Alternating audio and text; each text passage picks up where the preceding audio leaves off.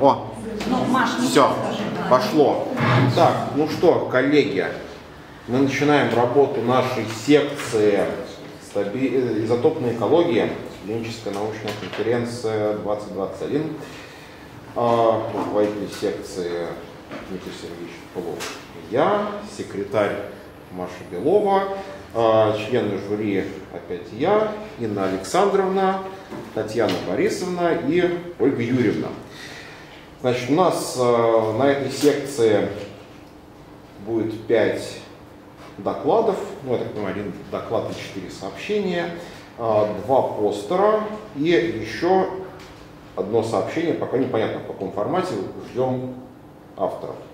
Вот. Ну и вообще, э, начиная всю эту историю, надо сказать да, я хочу сказать, что вот здесь собрались самые такие вот студенты, а, такие вот смелые, студенты, которые не боятся трудностей, студенты, которые склонны явно к мазохизму, потому что они берут тему, а, вот, в отличие от всех остальных студентов, они берут темы, про которые мало того, что там, сами, скорее всего, мало чего знают изначально, это тема, про которые научные руководители ничего не знают изначально, потому что изотопная экология это реально новое направление в науке, очень э, пока что с большим количеством белых пятен. Вот, практически все изотопные задачи это просто вот э, задачи с огромным количеством неизвестных, огромным количеством переменных. Трактовать эти результаты всегда бывает э, очень-очень тяжело. Э, Хотя, когда получаются трактовки этих результатов, это всегда очень большие э, научные достижения. Вот, поэтому, соответственно, вот наша бригада самоубийц, которые выбрали себе такие вот страшные, сложные темы, сегодня нам расскажут, да, что у них получилось, вот, что они смогли в этом, в этом направлении сделать, накопать, исследовать. А, ну и да, сегодня у нас как бы выступают студенты в разных весовых категориях. У нас тут есть и второй курс, который только-только начинает учиться крутить навески. У нас есть третий курс, который уже там, активно собира- занимается сбором материала, но при этом, по большому счету, до анализа еще дело почти что не дошло. Вот. Ну и единственный доклад, вот это Маша Белова, Алена Судилова, это действительно работа, очень большая работа, которая длится уже третий год, кажется, вот если не четвертый. А, ну и да, наконец-то она уже приобретает какой-то законченный вид, появились какие-то законченные результаты. Ну и, наверное, именно с них мы и начнем. Пожалуйста.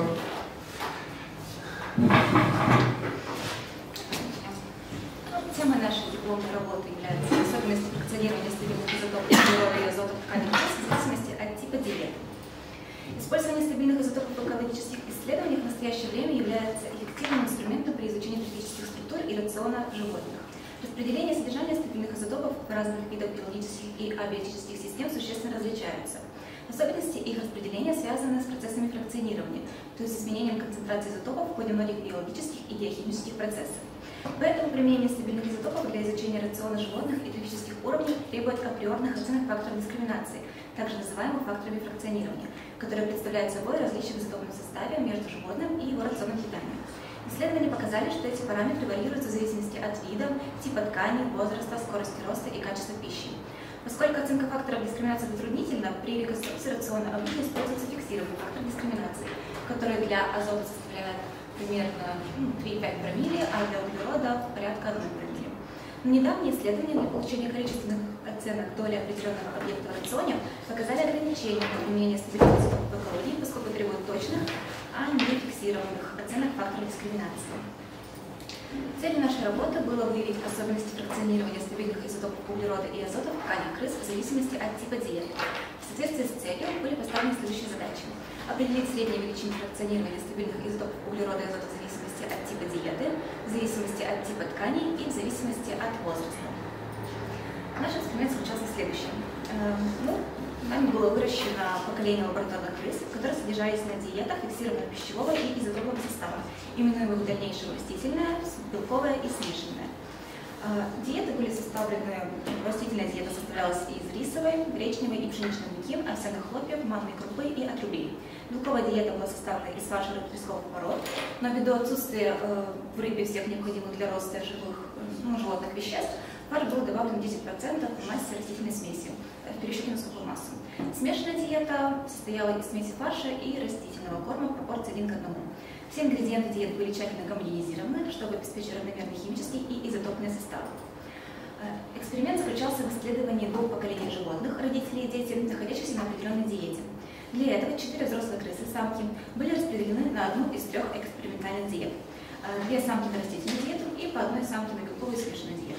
Самки находились на соответствующей диете в течение месяца, после чего были оплодотворены и продолжали оставаться на диете до завершения периода лактации и отъема потомства. В полученном поколении четыре детеныша, две самки и два самца, были случайным образом выбраны из помета каждой диетической группе. После завершения периода лактации мать и два детеныша подвергались эвтаназии с помощью углекислого газа, оставшиеся самка и самец оставались на диете, на которых находилась их мать в течение еще одного-двух месяцев, э, после чего также подвергались эвтаназии. Э, мы ввели следующую маркировку образцов, э, которая будет использована в дальнейшем во всех обозначениях. Это CA обозначалась белковая диета, MA – это смешанная диета, VAVP – это, соответственно, две растительные диеты. Поколение крыс маркировали следующим образом. Э, единица – мать, 2-3 – это дети молочного скармливания и 4-5 – половозрелые дети. Так, для масс-спектрометрического измерения использовали образцы шерсти и костей. Подготовка образцов шерсти заключалась в очистке их от липидов в растворе метанол и дальнейшем измельчении шерсти. Проба подготовка костей для анализа сводилась к отмывке также костей от липидов и экстракции коллагена. Э, определение изотопного состава проводилось в лаборатории РМС Череповецкого государственного университета. Образцы разных тканей упаковывались в стандартные оловянные стаканчики для дальнейшего изотопного анализа. Масса навесов составляла 330 микрограмм, плюс-минус 10%. А, изменения, э, измерения э, углерода и азота проводились с использованием окислительного реактора или изолинг. А, образцы подавались в реактор э, с помощью автосэмплера. Сгорание происходило в атмосфере чистого кислорода при температуре 1020 градусов Цельсия. На используемых в реакторе катализаторах, содержащихся в пробе, углерод превращался в углекислый газ, а азот в N2. Продукты сгорания подавались в масс-спектрометр в потоке гелия через систему газораспределения КНФЛО-4. Были использованы следующие стандарты для углерода и для азота, значения которых вы можете видеть в таблице.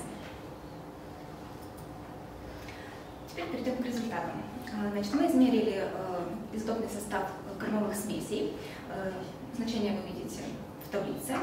А, мы видим, что для белковой диеты характерны наиболее высокие значения по углероду и по азоту по азоту. Смешанная диета по сравнению с ней на 2 промилле объединена азоту, и по углероду. Для растительной кормовой смеси значение углерода и азота соответствует растениям лечением с С3 типом фотосинтеза. А, на данных графиках представлены результаты изменения изотопного состава в тканях крыс, шерсти в колгине. А, здесь, ну, видим обозначения, мы видим, что ну, красным мы обозначили белковую диету, Э, синим цветом смешанная диета и зеленая – это растительная диета. Э, поскольку матери для нашего анализа не столь, не столь интересны, так как содержат остаточный след предыдущей диеты, мы их выделили белым цветом, чтобы не, не отвлекали внимание. И в дальнейшем мы будем говорить о потомстве. Так, э, на графиках мы не можем сравнивать показатели между диетами, так как у них изначально разные изотопный состав кормовых смесей, но можем разглядеть изменения внутри диеты. Ну, видим, что по изотопному составу растительные будут наиболее объединены углеродом, наиболее обогащены – это белковая и смешанная диета. Дальше мы определили показатели фракционирования исходного состава тканей крыс, выращенных на разных кормовых смесей. А, здесь мы можем видеть, что у крыс, содержащихся на белковой диете, величины количества функционирования углерода оказались выше, чем у крыс, содержащихся на растительной диете, как в волосах, так и в костей. У крыс, смешанной диете, величины количества функционирования углерода в волосах были близки к значениям растительноядных, а в коллагене, напротив, были близки к значениям у. Э, кроме того, мы видим, что значение графического э, фракционирования углерода стабильно ниже у крыс молочного вскармливания по сравнению с половозрелыми крысами. Так, далее мы провели сравнение э, фракционирования в показатели э, трофического фракционирования в шерсти в коллагене половозрелого потомства, выращенных на разных диетах, мы видим, что стабильно э, для всех диет коллаген был более обогащен по углероду. Причем наибольшая разница между шерстью и коллагеном будет наблюдаться у крыс смешанной диеты. Похожая картина будет наблюдаться и у крыс молочного вскармливания. Также по коллагену будет наиболее высокие значения, шерсти низкие. И также у э, смешанных э, эта разница будет наиболее заметна. Результаты по углероду представить мой коллега. На данном слайде мы видим результат, э, изотопный состав тканей крыс, выращенных на разных диетах по азоту. А, мы можем видеть, что у нас содержание азота зависит от типа диеты. Наименьшее значение по азоту у нас наблюдаются крыс, которые содержались на растительной диете. А значение азота у крыс, которые содержались на смешанной диете, соответственно, выше. При этом хорошо заметно, что у крыс, а, которые находились на молочном скармливании, показатель азота выше, чем у полузрелых крыс. Напомню, что у нас крысы молочного скармливания обозначены треугольниками, полузрелые квадратами. На данном графике у нас представлены показатели фракционирования стабильного азота углерода в тканях крыс. Половозрелых крыс, содержавшихся на белковой смешанной диете, величины трофического фракционирования азота в шерсти оказывались выше, чем у крыс, содержавшихся на растительной диете. В коллагене кости значения трофического фракционирования у крыс всех диет были близки. Значение трофического фракционирования стабильно выше у крыс молочного скармливания по сравнению с половозрелыми крысами. Ну, на этом слайде у нас представлено сравнение показателей трофического фракционирования азота у половозрелых крыс – мы видим, что значение азота шерсти стабильно выше значения азота коллагена. При этом наибольшая разница между азотом шерсти и коллагена наблюдается у крыс, которые содержались на белковой диете, а у крыс, которые находились на смешанной и растительной диетах, соответственно, а, значение ниже. На этом слайде у нас представлены уже крысы молочного скармливания. А мы наблюдаем аналогичную картину, что у нас азот шерсти превышает азот коллагена, но здесь у нас уже наблюдаем обратную обратную картину. У нас а, наибольшая разница между азотом шерсти и коллагеном уже наблюдается у крыс, которые находились на растительной диете, а значения у кры, э, азота у крыс, которые находились на э, белковой диете, они незначительны. И на основе полученных нами результатов мы сформулировали следующий вывод. Относительно э, углерода, э, трофическое фракционирование стабильных изотопов углерода зависит от типа диеты. У крыс, содержавшихся на белковой диете, величины трофического фракционирования оказывались выше, чем у крыс, содержавшихся на растительной диете, как в шерсти, так и в коллагене костей. У крыс, содержавшихся на смешанной диете, величины углеродов в шерсти были близки к значениям растительной ягод, а в коллагене, напротив, близки к значениям хищных. Различия показателей фракционирования, связанные с диетой, достигали 1,6 промилле в шерсти и 3,2 промилле в коллагене. Величина трофического фракционирования в коллагене костей оказывается стабильно выше, чем в шерсти. Наибольшая разница наблюдается у крыс, выращенных на смешанной диете, у хищных и растительноядных крыс разница меньше. После окончания молочного скармливания изменение трофического фракционирования в тканях крыс зависит как от диеты, так и от типа ткани. Значение углерода стабильно ниже у крыс молочного скармливания по сравнению с половозрелыми крысами. У крыс на растительной смешанной диетах появляются незначительные изменения. У крыс на белковой диете существенный рост. Ну и получены нами данные относительно азота. Трофическое фракционирование стабильных изотопов азота зависит от типа диеты. У крыс, содержавшихся на белковой смешанной диете, величины трофического фракционирования в шерсти оказывались выше, чем у крыс, содержавшихся на растительной диете. Коллагене кости значения азота у крыс всех диет были близки. Различия показателей фракционирования, связанные с диетой, достигали 0,9 промилле в шерсти и 0,5 промилле в коллагене. Величина трофического фракционирования азота в шерсти оказывается стабильно выше, чем в коллагене кости. Наибольшая разница наблюдается у крыс, выращенных на белковой диете. У крыс, выращенных на смешанной растительной диетах, разница меньше. После окончания молочного скармливания наблюдалось снижение трофического фракционирования во всех линиях эксперимента. Для шерсти это снижение составляло 1,3-1,5 промилле независимо от диеты. Коллагене кости наибольшее снижение было отмечено для крыс белковой диеты. У крыс, выращенных на смешанных растительных диетах, различия меньше. Спасибо за внимание. Мы готовы ответить на ваши вопросы. Ну, ну, есть вопросы, да. Меня, а может, давайте сначала студентов, может, послушаем. Вопросы есть, народ? Ну, понятно. Вот. Мне, меня вот что, я первый вопрос, можно, да? да вот здесь написано водорода, девочки. А, у нас не будет водорода. Ага, Ну, то есть вы имеете в виду, да, что это занесено уже туда, значит, ну, то есть надо как-то, ну, менять. Вот. Я бы хотела, вот для разъяснения студентов, да, что такое фракционирование изотопов? А, Что это такое? Ну, Чтобы вот народ понял, что такое фракционирование изотопов. В этой понимается изменение Не надо соотношения формулы, да. изотопов, э, Так, еще раз. подним- поднимается изменение соотношения изотопов.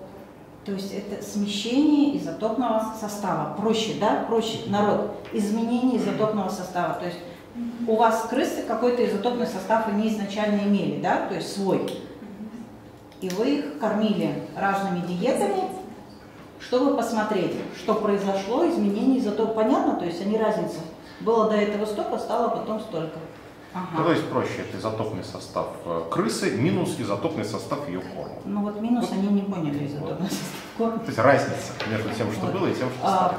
потом, да, просто вопрос, мне интересно, вы как диеты подбирали? Ну, то есть вот у вас соотношение диет, это из, вы проштудировали литературу, к примеру, да, и вот такое соотношение диет, или вы по микроэлементам, по составу, по- как? по составу, потому что были все, как Питательные. питательные вещества, да, чтобы более-менее было... То есть соотношение белков, да. жиров, Да. углеводов, да, то есть вот, или как, Ну, как? мы не рассчитывали. А что тогда вы рассчитывали? То есть вы как соотношение питания это делали? Ну, учитывая, сколько обычных кarbоновых смесей, которые даются крысам, Так. питании, вот, у них примерно состав, ну, такой, ну, зависимости от каких-то семян или растеницы 4. Ага, а вот эта добавочка 10%, э, она, Массе. да, да, в- корм, где треска там у вас была, она как там влияла? То есть ее-то изотопный состав тоже учитывался? Конечно. Ага, хорошо. Так, у вас, вот у меня вот еще тоже, я не знаю, может быть так, то есть вы изначально говорили, брали ткани, да, кости, а потом оказывается коллаген в кости. Может изначально как-то при выступлении сказать, что коллаген из костей, ну, то есть Ну, коллаген изначально, костей? да, коллаген костей. Ну да, коллаген Ну, костей. нет, просто звучало кости сначала, то есть, а потом появился коллаген, потом появился коллаген без перехода, да? Вот, э, ну, не, зн- это на мой взгляд. А мышцы почему не смотрели? Или... Еще А, еще просто, да, то есть оно в процессе, но еще не это самое. Понятно. Вот, и я бы вот, ну, не знаю, на графике можно переключить, где первые, Маша, где вот у тебя первые графики?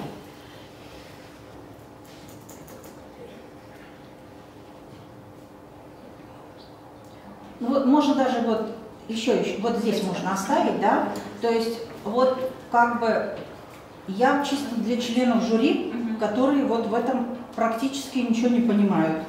Когда, Маша, результаты говоришь, можно сделать, Дмитрий Сергеевич, вот она говорит, допустим, да, для эти треугольнички, которые, вот они раз высветились эти, или поморгали, как-то это можно сделать, то есть постепенно, или, то есть, или это сразу нанесено на график и все? Ну, я поняла, ага. Просто, нет, я поняла, да, допустим, вот народ не совсем понял. Нет, показывать не, ну не знаю я, не знаю. Мне вот просто, что раз, когда вы говорите, вот они, эти точки как-то, ну, появлялись, то есть вот на, вот, не знаю, как-то, да. Ну и такой у меня еще вопрос, наверное, последний, потом как хотите мучите. Мне вот интересно, то есть вы выяви- выявили разницу, да, в изотопном составе, разные диеты. Вот, скажите мне, пожалуйста, а, достоверно, вот просто у вас там незначительные, да, разницы, это достоверные отличия или недостоверные? То есть вы статистическую обработку делали? Сейчас мы не у нас недостаточно данных для статистической обработки. У нас повлияет крыс на диету. А, то есть третьей не Нельзя. было, да, да? Хорошо было бы третья. Хотя, ну, что, что-то можно было. То есть пока, пока сделать такой вывод статистику не, сложно, будем так говорить, чтобы он был точный, да? То есть, потому что там вот разница. Хорошо. А, и вот последний вопрос. Вот вы это выявили, и что теперь? То есть у вас рекомендации по корму, то есть вы для чего это вообще делали? Это уже фундаментальные исследования, потому что, а, ну, в статьях, по крайней мере, которые мы смотрели, и ну, много каких смотрели статей, вот, там рассматривается обычно зависимость от одного фактора. Либо они смотрят ну, от диеты. Ну, либо растительную диету, да, смотрят Да, C3 либо просто как C4? диета зависит, да, либо как эм, тип ткани зависит. Да. У нас все как в комплексе, как на все, что влияет, что Ага. влиять, и изменяется, конечно. И, так, фунда- они к чему фундаментальные исследования? То есть к чему? Остальные исследования в изучении структуры. А практическое применение вашего фундаментального исследования? То есть, ну, оно ляжет в основу. И что дальше? Вот когда будем рассчитывать какой-то трофический уровень животных, нужно учитывать факторы, которые мы тут назвали, и Ага. уже делать поправку на них. Ну, при воссоздании рационального Ну, то есть это в экологии, да, очень важно на самом деле ваши фундаментальные исследования. Да. Мгм. Мгм. Хорошо, спасибо. Ну, у меня Ну, вот- на самом деле я, может быть, даже отвечу на ваш вопрос. Нет, я поняла, девочки читали. Ну, то есть- Нет, они читали, я просто хочу обратить внимание на что.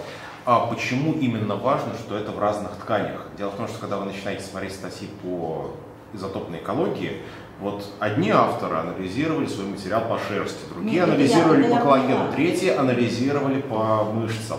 И дальше у тебя вот эти вот куча цифр, и эти цифры, они на самом деле разные. И вот, понятно, вот именно да. поправочные коэффициенты, чтобы все эти разнородные данные собрать в единую кучу, Ну, вот, собственно, что- для чего это все делается. Нет, это, это и для этого тоже, да, и правильно они про трофический уровень сказали, и правильно сказали, что пока это вот, Дмитрий Сергеевич, пока это статистически, Пока да, это статистически сложно, но тут надо понять, Сложно. как- какие были технические проблемы. Это было 40 килограмм рыбного фарша. Так нет, это нет, это все понятно, это все понятно, это помещение, в котором Да. видны вот Да.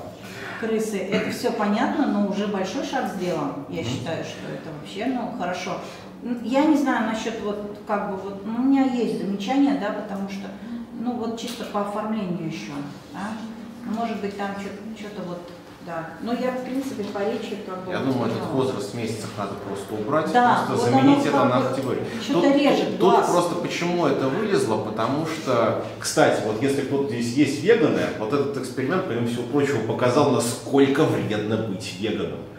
Потому что крысы, которые содержались на веганской диете, они вообще были дохлыми, хилыми, они достигли полового созревания только к двухмесячному возрасту. Что вообще для крысы ненормально, у них в месяц половое созревание. Вот. Так что поэтому тут, видите, э, зеленые они смещены все примерно на один месяц. Вот. Но я думаю, что просто действительно вместо этих месяцев просто категории. Молочные. Да, да, да, да, вот это, наверное, лучше будет. Да. Потому что немножечко смущает. Мгм. И еще, скажите пару слов, почему было важно рассмотреть разницу между молочными и подросшими? Ну, потому что молочное скармливание будет являться следующим трофическим уровнем. И, по сути, так должно происходить увеличение ну, и по углероду, и по азоту. Но для углерода это не подтвердилось у нас. Оно идет, наоборот, у половозрелых выше, чем у молочных. Хотя, так, в литературе. Ну, вам тоже еще это доказать надо так-то. То есть, ну, Ну, уже есть, да, то есть... У меня вопросов нет. Как там Ольга Юрьевна? Да. Татьяна Борисовна? У меня есть а, по методике просто вопрос, а, когда мы публика- публикуемся в хороших журналах, там есть такой пунктик «Этические принципы при работе с людьми и животными». Как вы это можете? Можете как-то Да, у этот вас пункт эвтана- пояснить? эвтаназия тут была. методические рекомендации, там, по как раз гуманной эвтаназии животных, и мы оттуда смотрели, крыс, что недопустимо. А Дальше тоже по методике вы ссылаетесь, то, что работа у вас была проведена согласно методике, представленной в статье о Коннелл 2001 год. Это про шесть.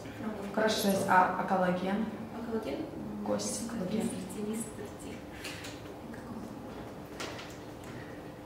Изначально это была эта методика, которую потом немножко доработали. То есть это уже э, индивидуальная методика, ну точнее ваша разработанная методика по коллагену. Ну, не то чтобы наша разработанная, нам тоже подсказали. По коллагену они провели примерно, наверное, 5 или 6 разных методик. И в конце концов на основании всех этих методик собрали свою. Ага. Мне просто интересно, да, ссылайтесь на Коннелла. А, Нет, по, смотри, по костям, по коллагену они на другого ссылаются. Ну. Просто, может, не знаю, а у вас опубликована же уже эта методика? Может, вам из самих себя, что у вас доработано, Ну да. ссылаться? Нет, это мы не публиковали. Опубликуйте, ссылайтесь. Ну, как вариант. У меня, у меня такой ну, и- и- интерес. а, на этих авторов многие ссылаются. Да, да, это во всех работах, они на конлог рассылаются, Мгм, а потом выбрали. Ну, и я бы хотела бы каждую диаграмму по результатам обсудить вместе с вами. Давайте результаты. Ну, тут, я думаю, кажется. обсудили, да, давайте следующую. Следующую. Так, а напомните, здесь у нас, Сравнение функционирует как в коллагене, как в шерсти. а, почему а, коллаген обогащ- обогащен по углероду? Это э, в этой по литературе на самом деле это подтверждается, там э, связано с аминокислотным составом, различие, точнее, с аминокислотного состава коллагена и кератина. Мгм. И в коллагене углерода больше, обогащен, обогащен углеродом, поэтому Мгм. значение больше. Мгм. Хорошо, давайте следующий.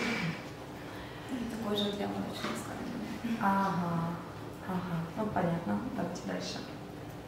Так, а здесь, здесь Азот. азот. Азот в шерсти выше, чем в коллагене, да? Нет, Это здесь а, сравнивается. сравнивается А, другое, а, да, это ага. здесь другое сравнивается. А здесь можете пояснить вот эту диаграмму, Маша, еще раз. пожалуйста? Нет, Алена, Алена, да, по азоту. Ага. Растительная, на век диетах у них уровень азота ниже. А это у нас получается личная диета, у них уровень повыше, а вот это белковая у них самый высокий уровень. Ну вот объясните, почему в белковой диете уровень азота выше. А это связано с тем, что увеличивается количество белка в рационе. Чем больше белка в рационе, тем выше трофический уровень. Ну. Нет, Маш, здесь немножко, может быть, неправильно будет. Смотри, раститель, э, в растениях же тоже аминокислоты, да, и в белках аминокислоты. Так вот, может, Ну, с другой точки зрения. физического уровня увеличивается количество азота. Ну, давайте для начала просто, что этот график, это, видите, ма- малая дельта.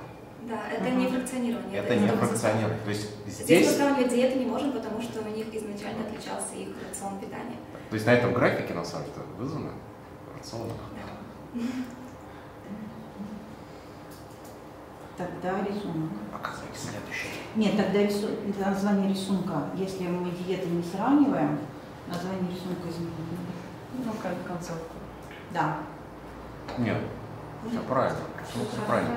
Мы как раз видим здесь по диетам, не внутри диеты, а между диетами мы видим как ну, что-то. Нет, это изотопный состав, а следующий, да, Следующий давайте рацион. следующий. Вот, следующий тоже показатель фракционирования. А! Большая дельта должна быть. Вот. Мгм. Где-то все-таки Мгм. большая дельта. Ну хорошо, поясните мне, что такое малая дельта и большая дельта? Малая дельта – это просто чистый изотопный состав ткани, а большая дельта – дельта – это как раз изотопный состав ткани за вычетом диеты. Это функционирование, то есть смещение. Мгм. Мгм. Мгм. Мгм.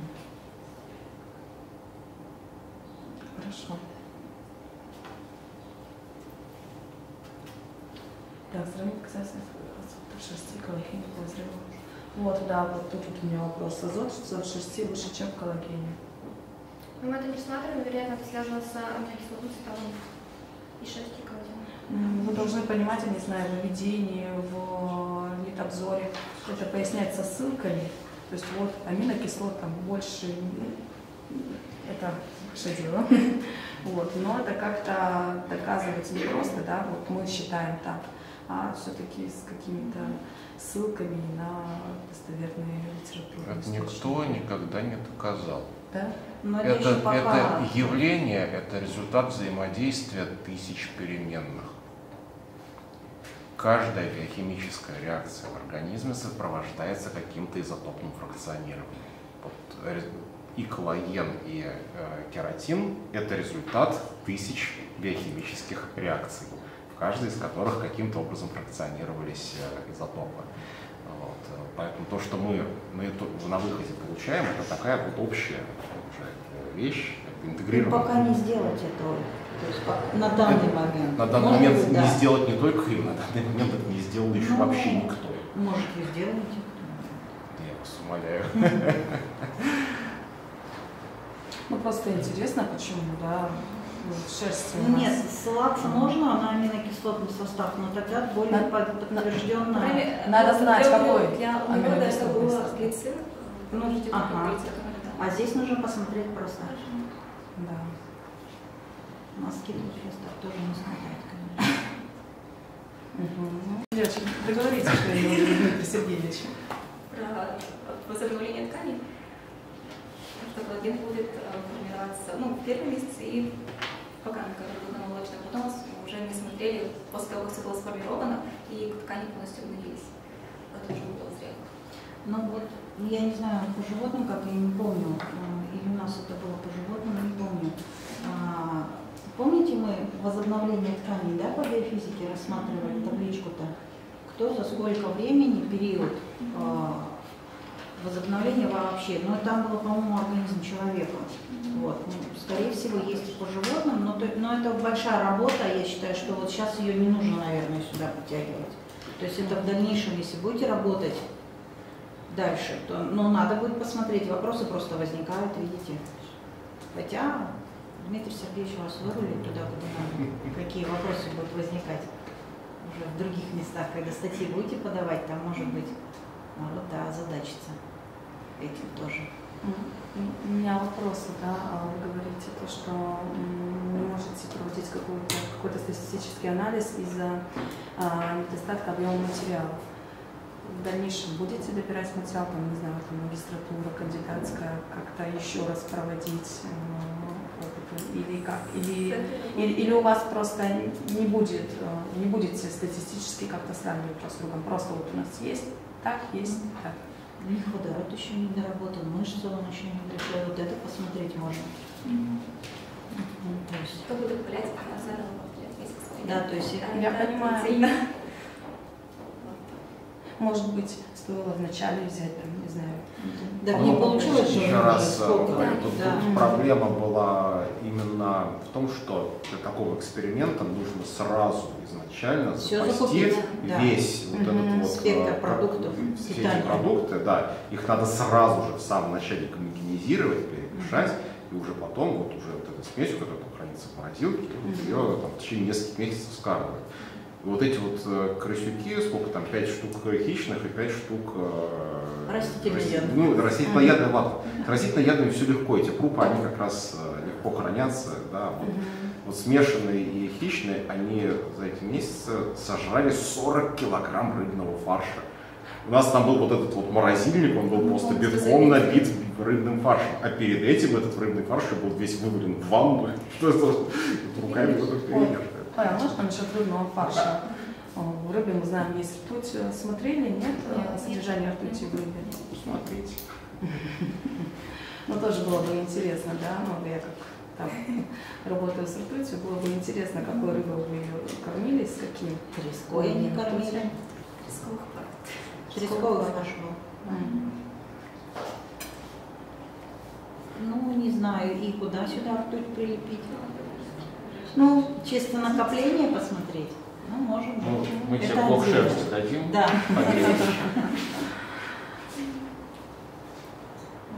У меня все. Народ, вопросы Я, появились? Ага, народ еще Все подсказывает. уже, да, загрузились. Ладно, что, давайте, наверное, кого-нибудь следующего. Да, Спасибо. Сначала мы, значит, закончим с докладами, потом будем постерами заниматься. Итак, значит, у нас следующий доклад – это Багирова Арзу и Шарапова Елизавета. Сравнительный анализ содержания изотопов в шести нефтекомоядных Вологодской области и Дальнего Востока. О, как. Тема у нас немножко поменялась. А, уже поменялось? Это название темы по-другому Она сейчас поменялась уже? Не, не. Суть та же.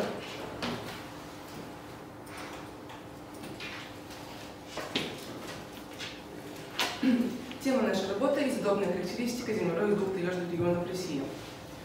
Ну, нужно сказать, то, что изучение процесса формирования сообществ позвоночных животных э, является актуальным направлением современной экологии, а землеройка, в свою очередь, является уникальным объектом для исследования. Цель нашей работы состоит в сравнении соотношения изотопов углерода и азота в шерсти землеройки Юго-Восточного стихотворения и Вологодской области. Для достижения цели нам были поставлены некоторые задачи. Это вывести соотношение изотопов азота и углерода в шерсти генерующих юго-восточного секретария Также выявить содержание изотопов азота и углерода в шерсти генерующих Вологодской области. Также привести, привести сравнительный анализ содержания изотопов азота и углерода в шерсти генерующих юго-восточного секретария и Вологодской области. Нажми, пожалуйста. А, Мы выявили ну, научной новизной, мы считаем, является то, что методы изотопной масс-спектрометрии, они впервые использованы в лабораторных условиях для сравнения изотопных характеристик землероя Юго-Восточного и Сихотельной и Вологодской области. Практической значимостью уже является то, что полученные результаты, они уточняют э, трофический уровень землероек э, Юго-Восточного Сихотельной и Вологодской области, который до этого изучался классическими методами. Объект исследования располагался в двух районах. Э, первый – это синтетиолинь, он выделен красной меткой на карте. Вообще считается, что синтетиолинь – это горное сооружение мезозойской складчатости Тихоокеанского пояса, расположенное на территории Приморского и Хабаровского краев располагается в самой южной части Евразии, в зоне умеренно полярных лесов. Экологически он, он отличается от окружающих регионов по слегка теплому климату из-за влияния. Следующий регион – это Вологодская область, он выделен на карте желтой меткой, с звездочкой. Э, она расположена на севере восточной, восточно-европейской равнины в таежной зоне. Климат на территории Вологодской области умеренно континентальный, с относительно коротким теплым летом и продолжительной холодной зимой. Территория области расположена в зоне избыточного вложения, так как количество осадков превышает испарение. Это способствовало формированию густой гидрологической сети, э, включая образование болот. А, для выполнения нашей работы нам был предоставлен материал в объеме 82 э, экземпляров землероек, а, которые были собраны Надеждой Яковлевной Подобной в районе юго-восточного Сихотеолиня, и также 57 экземпляров землероек, собранных в Вологодской области. Для определения соотношения изотопов углерода и азота в шерсти землероек использовался метод изотопной масс-спектрометрии. Отлов землероек был осуществлен при помощи ловчих стаканов и ведер, объединенных направляющей дорожкой, и ловчих конусов с направляющим полиэтиленовым заборчиком. Э, для работы на изотопной масс-спектрометрии образцы должны, должны были пройти подготовку. Она проходит несколько этапов. Первый этап – это стрижка, то есть несколько грамм шерсти стригались со спиной части землероек не более чем 2 э, мм. Нарезанная шерсть началась прибирку э, эпиндорфа. Следующий этап – это промывка, то есть все пробы были очищены растворителем хлороформ в соотношении 2 к 1. Далее же помещались в трусковую ванну на 40 минут, следом за этим идет этап э, центрифугирования. Пробы помещались в центрифугу на 8-10 минут. После центрифугирования лишняя жидкость из прибирки выливается, процесс промывки с последующим центрифугированием повторяется 5 раз. После этого образцы отправляется на сушку на двое суток при температуре минус 60 градусов. Следующий шаг нашей работы состоял из подготовки навесок. А, производилась при навеске с каждой пробы. А, при этом использовались аналитические весы. А, был дан определенный предел для массы образца, примерно 330 миллиграмм. А, в работе были также использованы оловянные стаканчики, в которые закладывались, э, закладывалась шерсть землероек. То есть далее стаканчик с шерстью взвешивается, затем запечатывается с последующим его перегибанием специальными пинцетами. Ну и далее обработкой образцов в институтном анализаторе занимался ведущий научный руководитель лаборатории палеонтологии ЧГУ Дмитрий Сергеевич Копылов. Э, после получения всех данных по землеройкам от него в виде таблицы и графика с результатами мы должны провести анализ и статистическую обработку по ним. Хотелось бы отметить наши предварительные результаты. Пока что на данный момент э, на основании ранее проведенного нашего, нашего исследования, которое 2020 году, э, можно предварительно отметить, что они, ну, землеройки, Э, именно юго-восточного секретаря линия, они находятся приблизительно на одном трофическом уровне даже с тиграми Дальнего Востока. А дальше нам было отмечено то, что данные между самками и самцами э, варьируются в одной области, и было предположено, что не существует какой-либо зависимости изотопного состава от пола. А, также было выяснено, что соотношение э, стабильных изотопов азота и углерода у исследованных Э, видов семейства землеройковых изменяются в широких пределах, что указывает на разнообразие состава их рациона. В дальнейшем же нам предстоит обработать результаты э, по содержанию изотопов именно в шести землеройке Вологодской области. Э, И на данный момент по результатам сравнительного ана- анализа содержания изотопов азота и углерода в шести землероек Юго-Восточного Сихотелия и Вологодской области э, необходимо оценить различия их в трофическом уровне. И это нам предстоит сделать с помощью статистической обработки. Спасибо. Ответить на ваши вопросы. Так, вопросы у студентов. Кто-нибудь хочет спросить? Ладно, тогда я спрошу, а, собственно, данные где? Да, самое Там ведь что-то что было промерено? Вот Или там не все еще какой анализ уже все-таки сделан? Пока что сделано только по ситотерионе. Спасибо, Каролина. А. А не представили? Ну, Хотя как бы то, что Мы Если нет что- Вологодской области полного, то, что у нас еще и образцов слишком мало, то, что нужно еще доделывать. Чтобы Нет, уже ну, примерно разное количество Ну понятно, ну, ну хотя бы по сихотарине бы табличку э, показали бы. бы, да. Потому что мы с Надеждой это- эту табличку видели, а Да, остальные это не видели. И там действительно интересно получается, потому что землеройки, ну они вообще разные, эти насекомоядные. То есть там некоторые на уровне тигров, некоторые получаются более хищные, чем тигры. Так что там весьма интересно. Нет, вот я бы хотела увидеть рисунок, не только табличку, а рисунок трофических уровней. Конечно, конечно. Ну, это диаграмма. много, да, ну что-нибудь, то есть где на каком они трофическом Ну. уровне все-таки. Ну и, конечно, да, интересно будет сравнить это Областью. А Вологодскую область еще не мерили, да? А Вы нам прислали позавчера результат. Мы Уже не обработали. Мы их еще не обработали. А, Каких-то еще не все образцы, потому что 54 образца. А, То есть мы бы хотели, чтобы примерно Равное количество было. для сравнения потом при статистике. А. Но это было бы лучше, да. Да. То есть имеем то, что имеем. А у вас есть равное количество? Пока что нет. Да нет, зачем вам равное количество? Не обязательно. Там у вас, по-моему, там и там где-то десятка по 2-3. Нет, ну, в одном 82, в другом 57. Да. Вот, ну только это самое. Чего вам учиться-то? Ну, Статистика хорошая. Можно добрать рядышком. Ну, я говорю про Вологодскую, то можно добрать рядом недалеко, так-то. Может, есть А, уже, а- а надо, ли, надо ли добирать? А вдруг все-таки 30 единиц разницы? Кто знает? А. Ну, надо смотреть, надо смотреть. Сейчас что говорить? Мы же даже не видим таблицы того, что, да? Ну, да. Поэтому здесь сейчас сложно сказать. Нет, они просто написали, варьируются в больших, то есть разброс большой. Так вот, он насколько у них большой, может, действительно тогда им надо добирать будет, чтобы что-то А, сделать. Там есть математические способы, чтобы понять, надо добирать или не Нет, надо это добирать. я понимаю, просто мы не видим сейчас Да. даже просто, да, вот, Да, надо результаты. посмотреть на результат. Ну, что. По результатам понятно будет, им надо добирать или нет, если там будет. Мгм. Не, ну что. 50 это хорошие Нет, выборки. я не говорю, что плохо, но как бы. Там скорее анализировать уже надо то, что есть, а, а уж по результатам анализа Нет, решить, же добирать диплом. или не добирать. У вас же, ну, у них диплом, они Да. успеют и добрать, наверное, только что как прибор занят будет. Ну, кстати, с прибором, да, там что-то стаканчиков пока не привезли. Есть. Измерений у нас осталось мало.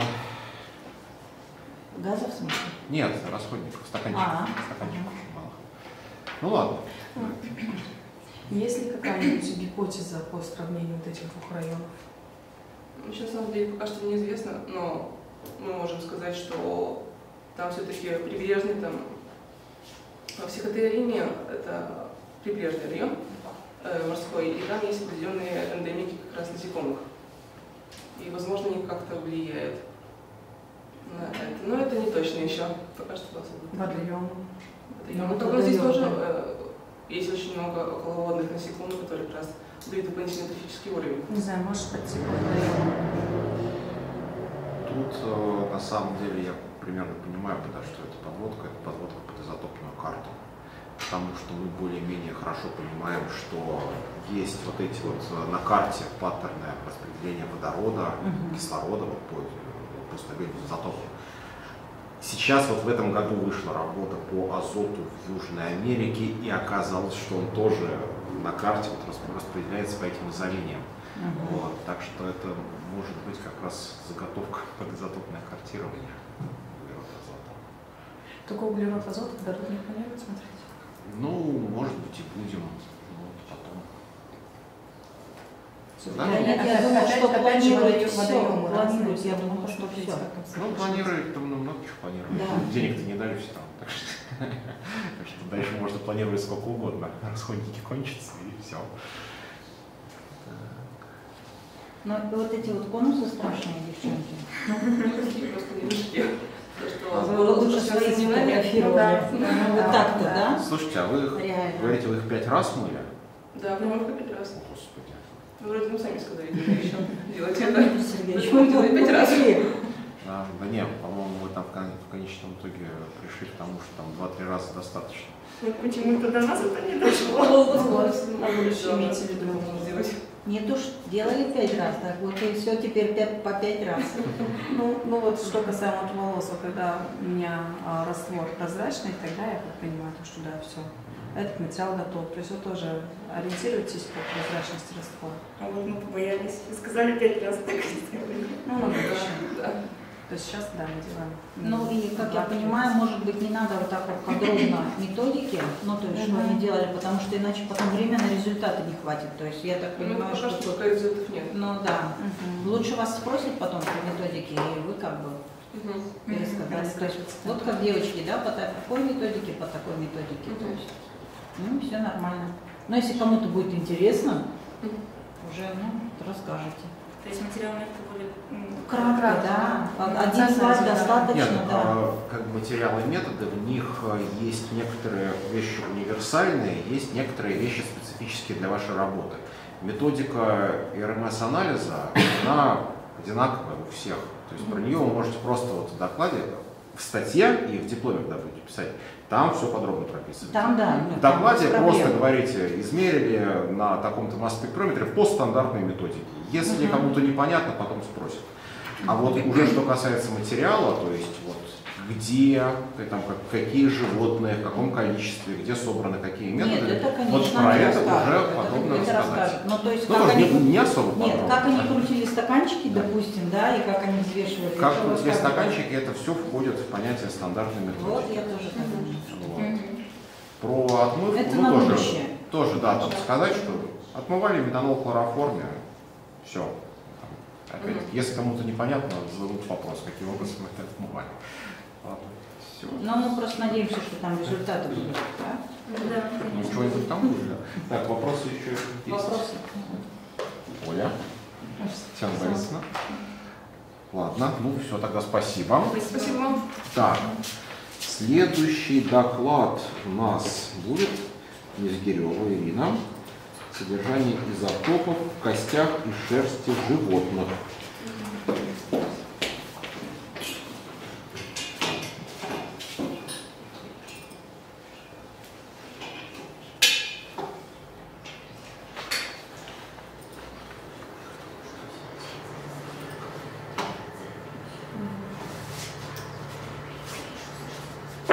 Сказала убрать слово опорный вуз. Нет, оставили. Сказала убрать слово опорный вуз. Э, Тема моей работы сейчас звучит вот так. Почему? Потому что на самом деле она прямо сейчас э, редактируется, потому что около года я работала с костями. Моя работа была, с- должна была заключаться в рассмотрении коллагена в костях тигра. Но так как вот мы отрабатывали методику и до сих пор м, мы, конечно, пришли к чему-то, но не можем сказать и быть уверенными, что она э, подходящая. То есть э, результатов так, как у меня нет. Так. И теперь моя дипломная работа будет заключаться в э, изотопном составе шерсти млекопитающих Вологодской области. Э, образцы нам предоставляет эм, Музей природы города Череповца и Тотьмы. Вот мы с Ольгой Юрьевной договорились. Э, Цель работы – установление соотношений изотопов углерода и азота в костях и шерсти животных. Задачи. Первое – это выяснить содержание изотопов углерода и азота в костях животных. Второе – выяснить содержание изотопов углерода и азота в шерсти животных. Третье – сравнить полученные данные со сведениями, имеющимися в литературе. И четвертое – выстроить изотопную карту животных. А вот все, все же те, так. Э, те данные, которые мы получили, изучая методику по подготовке по костям. То есть это рекомендации, которые я могу сказать. Первое, то, что кость нельзя измельчать в порошок, ее лучше было бы дробить на фрагменты от 1 до 3 мм. Кость при этом не должна быть выварена или отбелена. а я в основном э, более 50 образцов просто перемалывала в порошок. Второе – это заливать кость раствором э, соляной кислоты следуя в соответствии 1 к 20. Если объем жидкости будет больше, то возможны большие потери коллагена. Третье. Свежие кости необходимо промыть в растворе метанол хлороформа три раза по 20 минут, поскольку необходимо э, обезжирить кость. Четвертое. Лучше сразу залить кость э, в пробирки Эппендорфа, э, чтобы и не допустить переливания в другие тару, и сразу можно использовать пробирки для центрифугирования. И пятое. Для каждого образца время выдержки все же разнится, и нужно следить за тем, выделился уже углекислый газ или нет. А это таблица по тем животным, которые уже исследованы. Они разнесены по отрядам и написаны вид животных. Это животные из э, музея э, Череповца. Э, материалы методы исследования. Э, первое – это низание шерсти, то есть нам представлена шерсть достаточно крупных таких размеров. Шерсть вырезается от 1 до 2 мм, складывается эпидорфу. Далее шерсть заливается метанол, хлороформ метанолом в соотношении 2 к 1 и центрифугируется, ой, извиняюсь, и промывается в течение 40 минут, э, после чего она центрифугируется и сливается хлороформ метанол. Эм, я промывала вот данные образцы от двух до четырех раз, так как многие из них были не только обработаны, но еще и окрашены. И э, у нас уже есть результаты.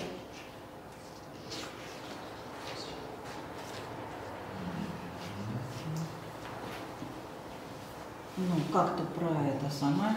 как сказать? Ну, мне пока сложно что объяснить, что получилось. Ну, вы как-то график-то построили? Построили. Ну, по каким данным? Я могу сказать, что многие образцы, они достаточно хорошо варьируют. То есть они не сосредоточены как образцы. Но у нас и вот сами образцы, они же разных годов. Ну, то есть там есть и 1800. А что вы тогда, и, а. ну то есть зачем их тогда на один график, если вы считаете, что там могут быть различия? Нет, пока мы поставили один график, потому что результатов не так много. После мы все это разнесем. Ничего не понятно. Эм, да. Так. Можно назад?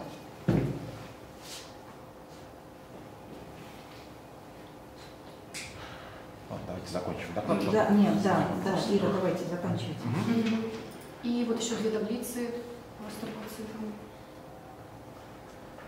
То есть азот, Значение, да, все? да, значение. То есть я думаю, что в моей дипломной работе я укажу и то, э, какие данные у меня получились э, с работой с, кости, с костями, с костьми и с шерстью. Ну, А, итог Мгм. какой-то есть, выводы, или дальше что-то есть? Нет. Ага.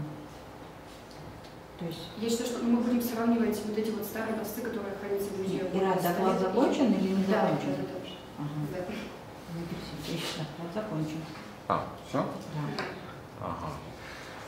Ладно. Сколько у нас конференция образовательная. Мгм. Я сейчас выйду к доске и задам вопрос не только докладчику, но вообще всем студентам. А вы вы молчите, потому что сегодня я этого не ждал.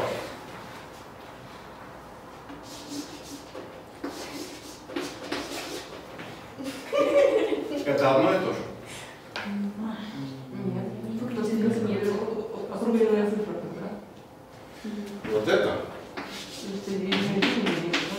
минус 0,5. Мгм. Это, это 1, 0, 0,5. Четыре знака после запятой. У нас точность измерения, ну, в лучшем случае, две десятых. Никогда не делайте таких ошибок. А, Всегда следите за тем, сколько знаков после запятой вы ставите. Четырех знаков там даже прибор не выдает. Прибор выдает три знака. При том, что мы знаем, что он на самом деле последние два знака всегда врет. В лучшем случае один знак для углерода азота. Ну, Ира, давай на задачи. Я с темой, конечно, не совсем поняла, что у тебя здесь просто животные написано. А. Так животные или животные Вологодского? Но это вы уточните. Будет в Вологодской области. Понятно, да. А, так, вот все-таки, да, в костях или в коллагене. То есть я, я понимаю, да, коллаген в костях, это Мгм. давайте уточняться Да, все-таки. в вот хотя вот здесь в скобочках уточнение. В костях, в скобочках коллаген. Мгм. Так, методику. Вот э, где у вас там уточнение методики? У вас по костям. Я вот здесь не поняла. То есть измельчить кости, залить раствором, а потом свежие кости промыть в растворе. То есть что последовательность тут не нарушена? Я вот просто Это спрашиваю, не не знаю. последовательности, То есть у нас была методика, а это уже рекомендации к ней. Нет, Ну, вот она как бы, э, ну, наверное, рекомендации по последовательности, как это делается. Ага. Ну, вы, есть- вы же сотрудничали по этой методике? Нет? А, то есть вы независимо нарабатывали. Ну, Вот, то есть- тогда понятно. Ну просто тогда Вот надо всем, вот всем, кто работает с коллагеном, надо тогда вот дойти к Маше Соленой. Точнее, Маше Соленой надо подробно расписать свою методику, потому что у них в конце концов получилось. Слышите, да? Вот. Я, я помню, это получилось сильно не сразу. Там, наверное, месяца полтора бились над этой методикой. И вот здесь вот непонятно даже, что зачем следуется. Следует. И вот изменения в пробоподготовке, да, а, как бы, ну, я не знаю, я вот поэтому и говорю, может вам опубликоваться, да, то есть вот это, на каком основании они вот это сделали? Знаете, ну публиковаться я не знаю. Дело в том, что опубликованных этих методик, собственно, их и было там, сколько мы там нашли, наверное, 5-6 методик и пробовали разные. И они все, все одна за другой не получались. Э, Девочки вот эту статью, по идее, представляют Да. через неделю. То есть, с э, такими уточнениями. Мгм. Не, ну что касается публикации, ну понятно, что когда дело дает до публикации результатов это по понятно. крысам, там действительно будет в этом материале и методе раздел, Ага. как, как делали коллаген. То есть вот нам вот вообще сейчас вот параллельно, что какие-то изменения там у вас в методике сделаны. Вот, то есть ссылка на, на методики на стандартные, как бы, да, вот. Вот, а это должно, потому что сразу возникает вопрос, а на каком основании? А вы уверены, что вы правильно сделали? Уверенности не никогда. Все, можно забирать документы. Ну, то есть, как бы, ну, раз уверенности не будет, то есть надо обосновать, что, почему тогда, да, то есть, ну, это совершенно, это просто другая тема по методике, понимаете? Мы же просто тоже отрабатываем, вот, да, разные методики. Не, да, ну- экстракцию спиртом, экстракцию ацетоном, что лучше, ну, там разные вещества. То есть здесь аналогичная ситуация, Ну, вопросов куча. Тут действительно вопросов куча, это была большая морока, было много весьма неочевидных вещей, что, например, вначале все думали просто, что ну, надо измельчить кость, чтобы оттуда лучше вы- вытягивалось. Потом вдруг выяснилось, что если она измельченная, все ерунда получается. Если взять просто вот здоровенный кусок, положить в кислоту, все идет отлично. Нет, Ну, ну, совершенно я и говорю, поэтому вот как-то она может акцентами делать, вот по крайней мере сейчас, да, для диплома. Там в Мгм. статьях вы уже сами, ну, Ну, э, для диплома ладно, тут э, ну, то есть вот, Для диплома надо, конечно, поработать еще над э, названием, Ну, потому это да. что в, в- что тут в костях и шерсти животных. да, животных Ну, ну, просто. ну, Каких Я животных? пока оставила Какой? так, потому что э, я могла бы перейти просто на исследование вот, э, музейных этих образцов. Но Надежда я же работала с костьми, я же должна это указать, значит. И то есть Ну. как она это сформулирует. Скорее, да, скорее некоторых млекопитающих. Ну Да. вот, и вот у меня вот по этой таблице сразу вопрос. Вот это азот в штуках, это что такое? Количество, наверное. Это N. Азота? Нет, N, N это количество. А, n это количество. Так, да. может, n маленькое тогда это будет количество-то? М, А вот обработанные образцы, вот это ноль-то обязательно указывать? Нет. Или что? Ну, Это то вот что такое? Ну, Только это у меня на данный момент, видимо. Ну, да, пока не сделано. А, да. ну пока, то есть это пока не сделано. Так, листаем дальше. Так, листаем дальше про это. Ну вот с этим все понятно, да, то есть что ничего не понятно, то есть как.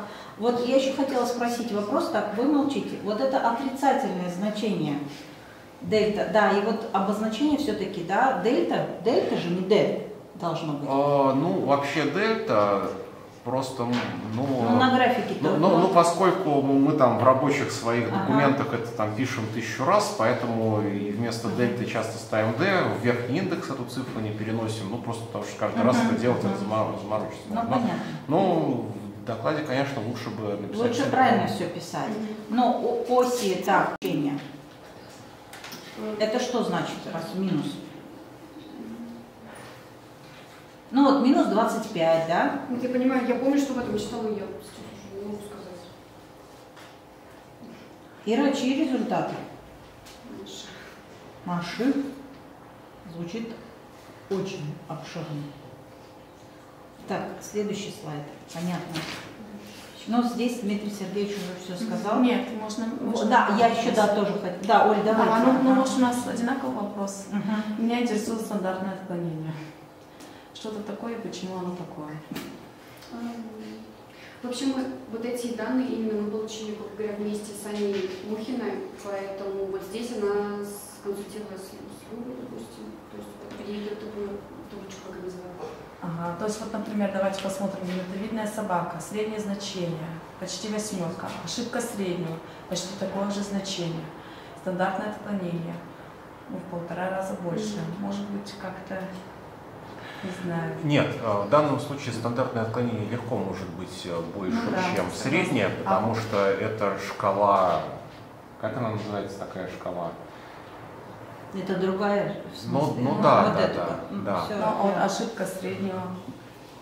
Может быть, не знаю, больше материала добрать, может быть, проверить, правильно ли Правильно сделано. правильно да, ли да, да.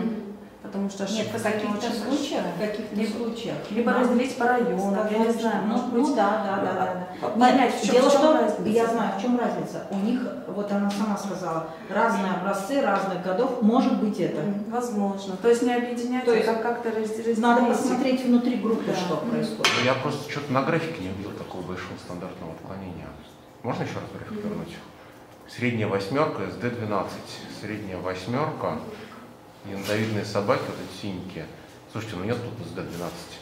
Ну вот, значит, кто-то где-то... Тут, тут э, вся выборка от абсолютного минимума до абсолютного максимума ложится в 6 единиц дельта. Там не может быть Ну да, SD12. где-то там.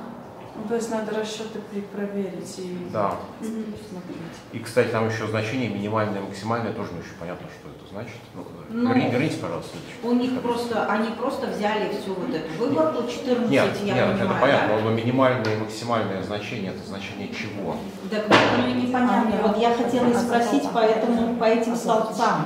Вопрос у меня и был. То есть у них среднее 7, а минимальное и максимальное, то есть среднее не ложится вот в этот интервал. Да. Вы Максимальное видите, да? ме- меньше минимальное. Ну, Да. да это- То есть вот у меня вопрос, то есть Ира, вот эта таблица вообще что она значит?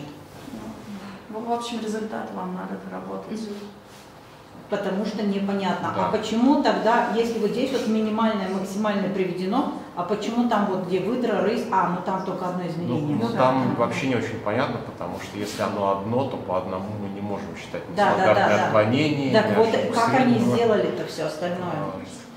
Ну, здесь просто записали... Нет, вот просто вот эти два столбца, они сразу, понимаете, Ну да. бьют, потому что среднее тут 4, посмотрите, они по всем практически. Не практически, а по всем получается. Но В общем, давайте еще раз к Еще Нет, консультироваться. да, а это, это так, это еще. Так аналогичная ситуация. Да, и почему, да, минус. Вот, Да. вот почему минус. Среднее, как в минусе это может быть? А, ну, кстати, да, стандартное отклонение действительно не может быть в минусе. Ну, стандартное это да, а среднее это тоже в минусе вроде Ну да, не может быть. да. Ира, что-то вот левые таблицы. Что-то тут не то, да, надо разобраться. Ну, это не как первый раз только это сверстали, поэтому... У меня Вот еще вопрос был, да, девочки, да, Можно конечно. спросить, ты подробно сказала о том, что вы очищаете волосы, а вида для чего это надо? Зачем от липидов очищаете? Понятно? Ну так вот, удачи через год защита. Я могу сказать. Ну, Ира, надо знать вот это. Я понимаю, есть- я занималась все пробоподготовкой сначала с костьми, у нас ничего Так, не нет, получалось. стоп. Ты А, занималась пробоподготовкой, очищала от липидов. Зачем? Ну, видимо, она выполняла механическую работу, Ну, а никто в теории ей не объяснил. И она как, как Так, рабочие а как мы? делала. А думать-то? Видимо, не было наставника, не знаю. Ну, это, видимо, вообще для всех студентов, которые этим занимаются. Просто для понимания, я вот уже тут несколько раз сказал, что все вот эти результаты – это сумма безумного количества переменных. А, Поэтому, чтобы хоть как-то оптимизировать эту дико сложную систему, мы всегда для анализа должны взять чистое вещество. Ну, волос – это простой вариант. Волос – это почти что чистый кератин. То есть достаточно просто смыть с него эту жир, эту грязь, вот, э, и тогда все нормально. С, ко- с костью сложно, но из нее можно выделить коллаген, тоже чистое вещество. Если мы начинаем мерить смесь веществ, то это получается результат измерения, это такая помойка, из которого данных извлечь вообще практически невозможно. Поэтому всегда чистка, всегда чистые вещества. Вот. Хотя, честно, мы тут там с Машей Аленой пробовали, даже так интереса ради, метод мышцы как бы обезжиренные, не обезжиренные. Ну, сдвиги есть, но не такие страшные, как Так, а смотри, сколько жира вы там да, взяли. Кстати, да, мы же там еще обнаружили, что те крысы, которые были жирненькие, у них сдвиг сильный, а те, которые были тощенькие, у Вот, них видите? сдвиг небольшой. Да. Смотря какие вот там еще. Тут тоже надо. Нет, раз чистое вещество, значит чистое вещество. оно должно быть чистым. У меня еще рекомендация, совет. А, У вас, да, животные из музея Щерповецкого, всю легенду собрать и при обработке Да, всю легенду конечно, учитывать. Там, Щерповецкого района, не из Щерповецкого района. То есть Откуда. откуда они были взяты? Каких годов. Вот. И я Возраст. вот не знаю, тут нужно смотреть внутри выборки, можно ли будет проводить какие-то сравнения. Ну да, поскольку там Да, ошибка да, да. среднего, она равно средней. Как-то чтобы... Нет, много интересного. Еще на самом деле, что интересно, это то, что ежик-то тут Раз. яблочками питается, судя по этой диаграмме. Это интересно. Там два ежика. Очень большой разброс по ежику, Да. кстати. А А, это там, там еще второй был, я, значит, только одного заметил. Вот тот, который высоко, в это верю, а тот, который низко, ну, все-таки не яблочками пытается. А, нет, у него вот недостаток был. Ладно, ну хорошо, спасибо. Давайте дальше. Так, дальше у нас э, будет э, Щукина Мария. Сезонные изменения изотопов мелких млекопитающих.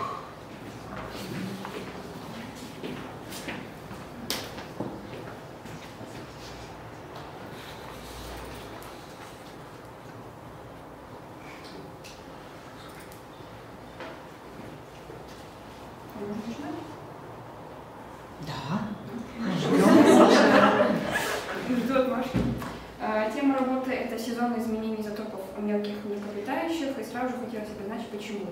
А, Это важно. А Сегодня, как уже можно а, заметить, активно развиваются различные а, новые методы исследований. И несмотря на то, что открытие изотопной массы спектрометрии вообще было еще в прошлом веке, в 20-м, а, только в нашем дни он начал активно применяться и использоваться.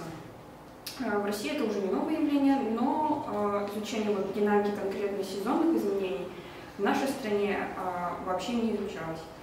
А, В мире всего есть несколько исследований на данную тему, и поэтому считают, что любое вот использование как а, этого метода а, для изучения различных видов а, животных а, очень важно и актуально. А, Наличие сезонных изменений а, изотопного состава шерсти а, также даст представление о том, необходимо ли нам вводить какой-то коэффициент для исследуемых объектов в зависимости от того, в какое время или сезон года мы их собираем. Целью работы является определение изотопного состава и его годовой динамики в шерсти мелких млекопитающих Череповецкого района. А Для достижения цели были поставлены следующие задачи. Это произвести сезонный сбор а, млекопитающих, выяснить изотопный состав а, в шерсти по месяцам и сравнить изотопный э, состав по сезонам. На данном слайде представлена схематичная карта того, где располагаются места сбора, то есть место расположения ловушек. Первая территория исследования находится в пределах ОПТ «Зеленая роща» а, вблизи очистных сооружений. А линии располагаются не более а, в 300 метрах друг от друга. А вторая территория располагается в районе поселка Городище. Расстояние между ловчими линиями не превышает 1 километра. А, какие методы исследования использовались? А для отлова мелких млекопитающих использовались ловчие цилиндры. Ловушка делалась в виде э, конуса из полиэтиленовой пленки. Глубина конуса составляла 30 сантиметров э, и 20 сантиметров примерно был диаметр.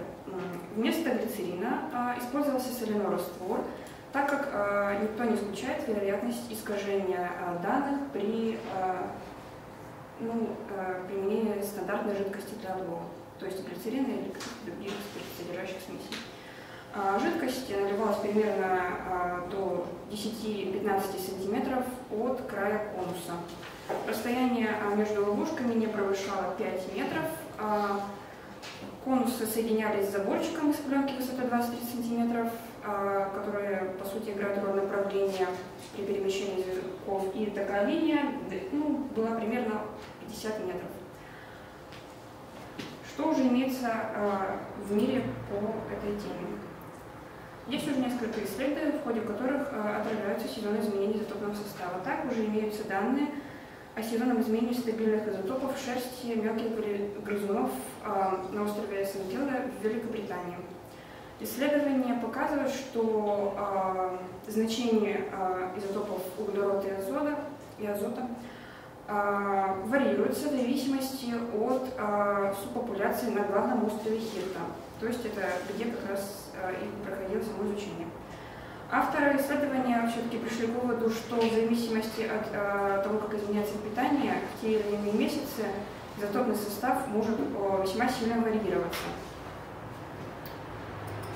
Ну, это карта, где вообще располагается место сбора. Далее в Национальном заповеднике дикой природы э, в США исследовался изотопный состав а, шерсти карманной мыши. А, он менялся в зависимости от питания а, растения с разным типом фотосинтеза. В данном исследовании важно, что уже вводился некий поправочный коэффициент, и он рассчитывался как процентная разница между средними значениями С3 и среднегодовыми. А, также исследования, проводимые в Испании, а, были уже смоделированы месячные колебания э, значений а, изотопов углерода и азота в крови четырех видов летучих мышей, насекомоядных. При этом они занимали кормовые, разные кормовые ниши. Была в целом обнаружена общая картина изотопных вариаций а, физиологические изменения, а, связанные с воспроизводством или, например, отложением жира до гибернации, а, не влияли на изотопные вариации, но все-таки молодые летучие мыши имели более высокие значения. И это исследование впервые все-таки показывает, что потребители в наземных экосистемах отражают сезонную динамику окружающей среды в своих изотопных значениях.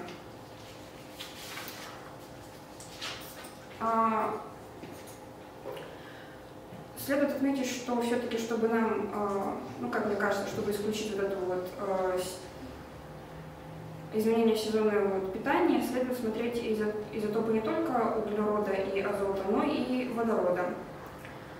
И можно сказать в целом, что все-таки нет достоверных данных о сезонном изменении в одной трофической нише при неизменных условиях. А на данный момент уже собрано 47 мелких млекопитающих с сентября по декабрь. В зимние месяцы, к сожалению, ловушки не попадались объекты совершенно, ну, по причине того, что, несмотря на то, что все-таки соляной раствор был, он все равно покрывался какой-то корочкой льда, и мыши просто ну, не попадали в ловушку. А, предварительно были определены следующие виды, а, и можно сказать, что фоновыми видами нашего исследования будут являться грузовка обыкновенная и мышь лесная. Ну вот это как примерно сейчас выглядит. Первый столбик это по черепам, что определено, второй по внешним признакам. Все. А, ну еще хотелось отдельно выразить благодарность второму курсу за помощь э, в сборе насекомых, ну, мелких млекопитающих, постановке ловушек, проверках. А также благодарность хотелось бы выразить Дмитрию Сергеевичу за помощь э, в проведении исследований и Андрею Дьякону как научному руководителю сподвижника. Всем А можно спросить? Спасибо. Можно спросить, что такое зеленое и красное? Зеленое и красное это совпадение и не совпадение. То есть зеленое это когда совпало, красное когда не совпало. Ну, видно, что вот здесь вот, по- что по черепу, что по внешним признакам. А, но все, совпало. понятно. То есть у нас такие проблемы с определением грызунов. Ну, по внешним признакам, знаете, когда они начали высыхать, э, уже м, видно, что окраска шерсти была другая, чем изначально вы думали. А по черепам? а по черепам ну, тоже следует все-таки уточнить, потому что не все были определены правильно, и мы будем э, еще раз э, Переопределять. Да. Черепам Ну, уже бы там вроде... Ну, по черепам не считается более надежным. Ну Да. да, да, да. Поэтому фоновый вид определялся у нас а, по черепам в основном, и это как раз брузовка обыкновенная, муж лесная. Ага. Можно с самого начала вопрос? Да, на первый С тем- слайд. Да, на первый слайд. На самый первый. Нет, на первый Первый название. Да.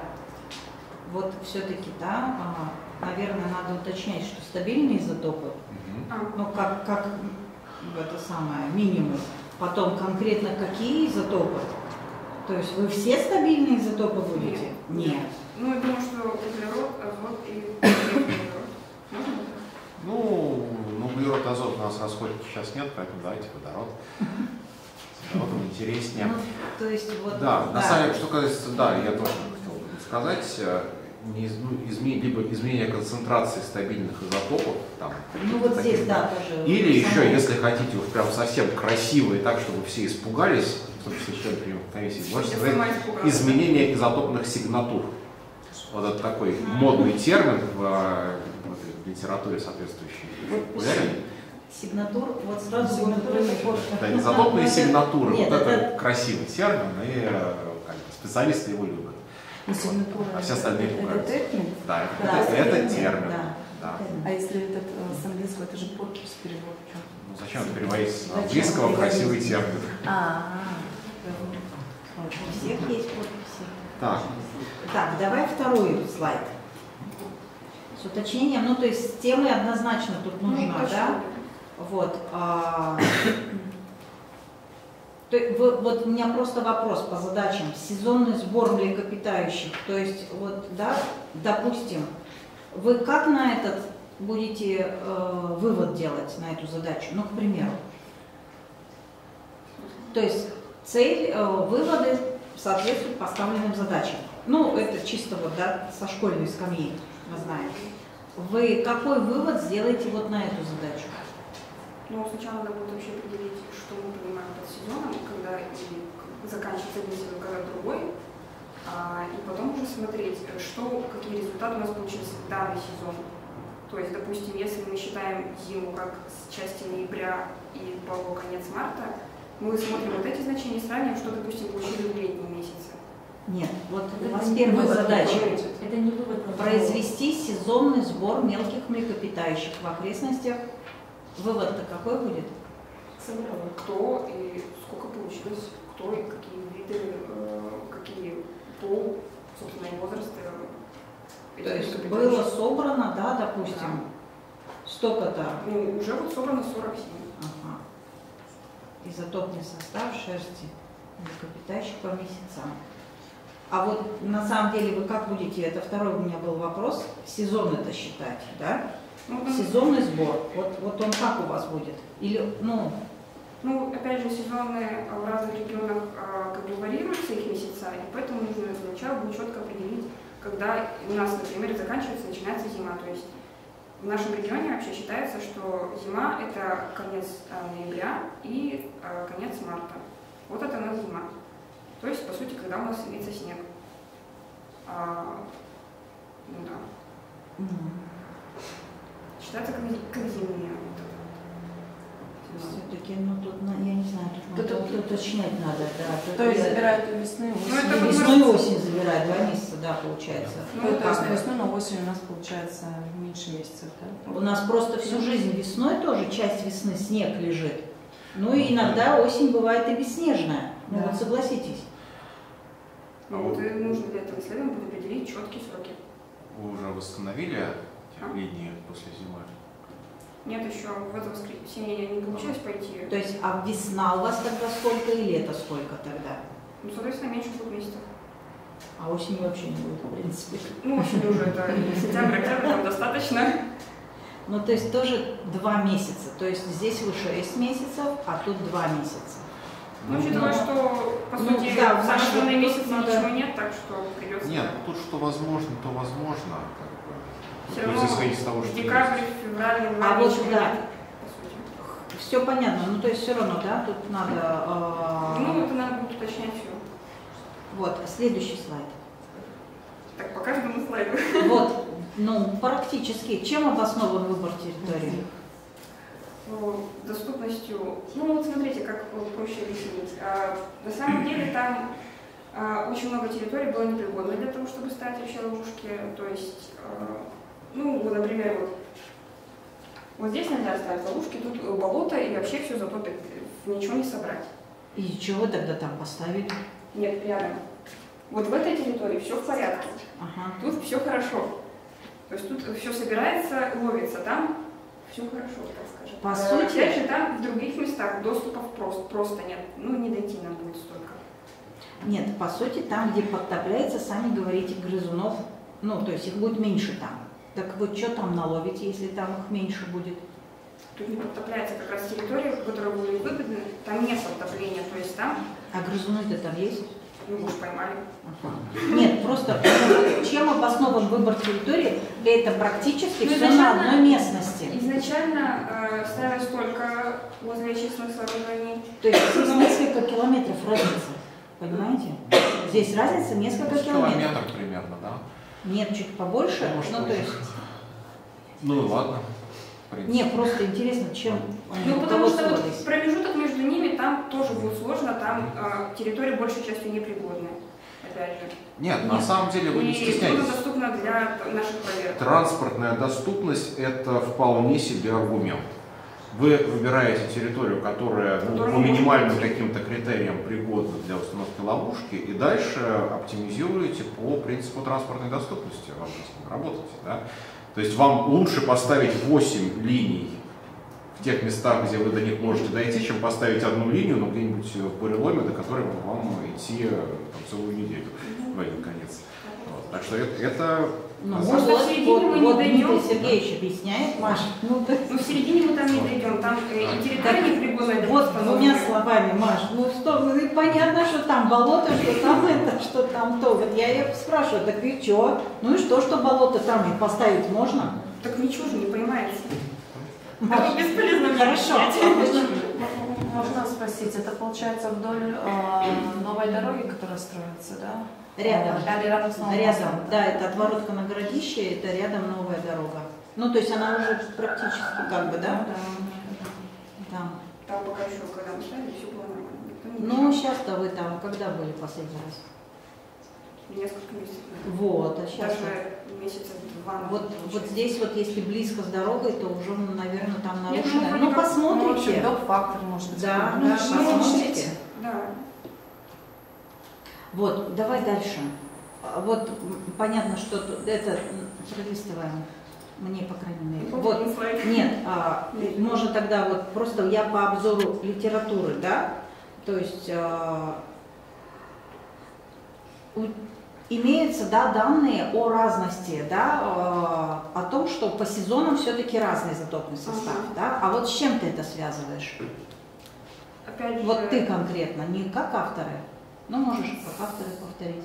ну, с чем связано? Связано с тем, что они, опять же, в разные сезоны у них немножко диета менялась. Питание. Да, и некоторые э, климатические факторы тоже повлияли, вот, например, э, с летучими мышами. Там именно э, было очень интересно, что автор утверждает, что повлияло уже как раз не питание, а засушливость. Вопрос по поводу летучих мышей. Там в крови у тебя в тканях. Разница есть в чем? Скорее всего, там я в данный момент просто приводила, что уже имеется в виду. Мгм. То есть э, конкретно вот чтобы вот так вот шерсть и вот сезон изменений, такого нет. Такого Мгм. я не нашла. Ну, Дмитрий Сергеевич сказал, что такое вообще трудно найти, чтобы да, было. И поэтому Исследуется. Нет, просто, а вот как э, Ну, ты всего, думаешь, что разница-то есть? Кровь мы, то есть жидкость мы берем, кажется, да, биологическую, либо ткань мы берем? Но все-таки должна быть. Дмитрий Сергеевич. Конечно, будет. Со- собственно, вот работа Маши Алены именно на это и нацелена, чтобы эти разницы выявить. Вот. Тем более кровь... Я да, вот просто не знаю, вот надо ей по крови сюда в литобзор вставлять? В литобзор, наверное, надо вставить просто вот из этих статей, которые вы посмотрели, картинки с результатами. Просто потому что вы говорите, что вот там есть такая статья. А, а что, это- в- а это в этой надо статье вставлять, написано? да, да, да. Там не все статьи мне, к сожалению, полностью открылись, поэтому я не могу вставить. Обратитесь к нам, мы вам поможем. Ну, мне уже Надежда вчера сказала, что так будет. Да, так что это... А потом, ну, я вот честно не смотрел по углерод азоту. А у современных а, вообще по ископаемым есть довольно большое количество работ по углерод азоту, там Да, там колебания тоже есть. Не, Ну, ну, ага. а И потом по сезонности, на самом деле, ну, вы все-таки с Надеждой решили делать углерод, азот, как ваше право. Я когда вам это дело предлагал, я предлагал сначала именно водородом заняться, Мгм. потому что по водороду очень интересные вещи могут Ну, я тоже думаю, что стоит водород, и еще вот эта вот вся тема с осадками, но она уже не получается. Ну, с осадками пока у нас не получается, но водород в шашлык проанализировать можно. Но это вот Вот. А по осадкам там есть отличные данные, ну не по нашей территории, но в принципе там по всему миру есть отличные данные, они очень Ну да. в течение года. Вот, и по водороду там можно было бы выловить что-то интересное, мне кажется. Все? Ну, пока больше не о чем. Тогда. Ну, можно, конечно, поспрашивать. Может, не надо, я устала. Так, Спасибо большое, что представили спасибо. обзор литературы. да, кто-нибудь еще хочет задать вопрос? Нет, никто не Нет? Ладно, хорошо. Следующий доклад. Снова Щукина Мария, но при этом с огромным количеством соавторов. Я, с вашего позволения, не буду всех перечислять. Маш, ты тоже можешь? Мелкие млекопитающие лесопарка «Зеленая роща» сезонные изменения изотопного состава углерода и азота в их шерсти. То есть то же самое. Хорошо, давайте. Так. У нас скорее сообщение.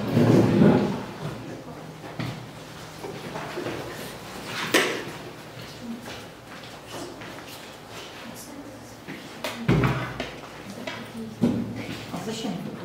Тема нашей работы млекопитающие лесопарка «Зеленая роща» и сезонные изменения изотопного состава углерода и азота в их шерсти.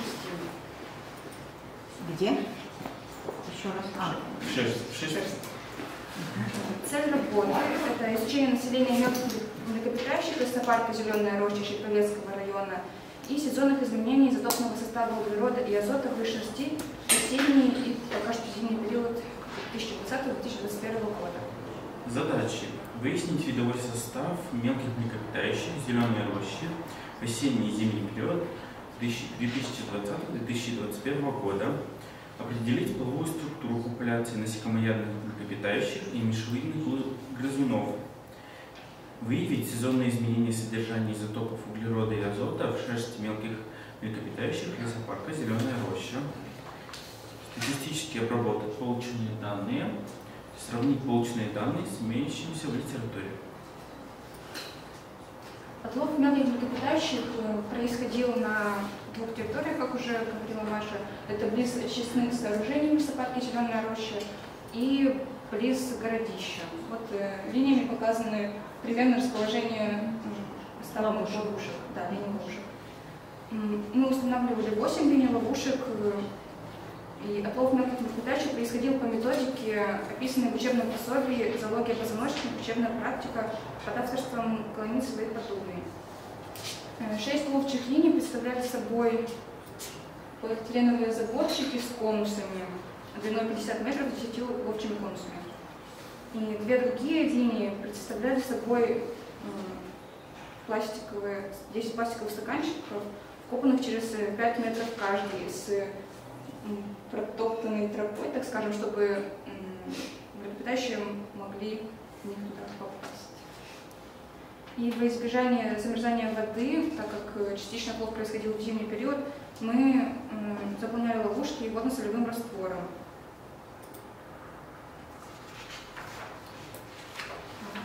При установке ловушек мы столкнулись с рядом проблем, так как э, нам нужно было относительно сухое место, и таких мест оказалось не так много, как мы предполагали. И большая часть из таких мест э, определение по внешнему виду черепу. Обработка черепов проходила по методике, описанной в учебном пособии «Зоология позвоночных учебная практика» в ходатайстве поимеции и подобное. Вскрытие и обработку материала мы производили в медицинских перчатках и маске, и место работы обрабатывали спиртом. После обработки черепов и определения видовой принадлежности мы переходили на изотопный масс-спектрометр. Для работы на изотопном масс-спектрометре образцы проходили подготовку. Она проходила несколько этапов. Первый этап – шерсть со спиной стороны мелко настригалась и складывалась в пробирку Эппендорфа. На каждой пробирке подписывался номер образца. Второй этап – промывание образцов. Для этого крышки пробирки Эппендорфа прокалывались препаровальной иглой. иглой для предотвращения перегрева содержимого. Все пробы были очищены платформой метанола и помещены в ультразвуковую ванну на 40 минут. Далее образцы помещали в центрифугу на 15 минут.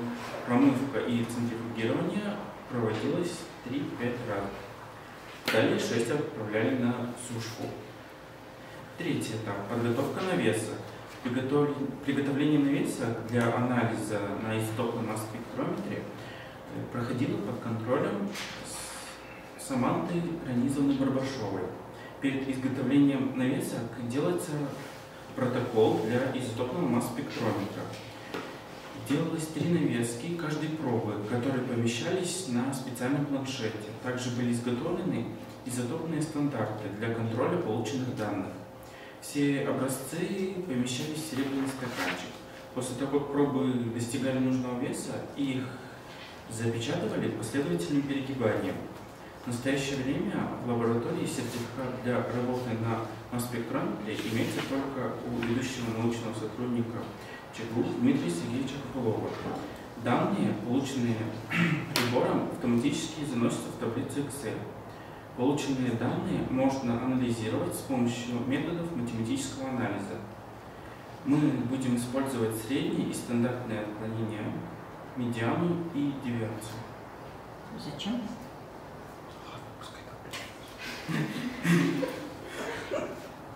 На данный момент по результатам исследования мы имеем первичную таблицу видового состава мелких млекопитающих э, собаки зеленая роща. На данном слайде отображены диаграммы. э, Это соотношение собранных видов внутри отряда насекомоядной и мышевидных грызунов. По этим диаграммам можно сделать первичные выводы, что фоновым видом среди отряда грызуны являются лесные мыши, а среди отряда насекомоядные это грызубка обыкновенная. И на данный момент наши исследования не являются законченными. Мы осуществим поставленные задачи и сделаем соответствующие выводы. На этом все. Спасибо за внимание. Можем ответить на вопросы, если есть.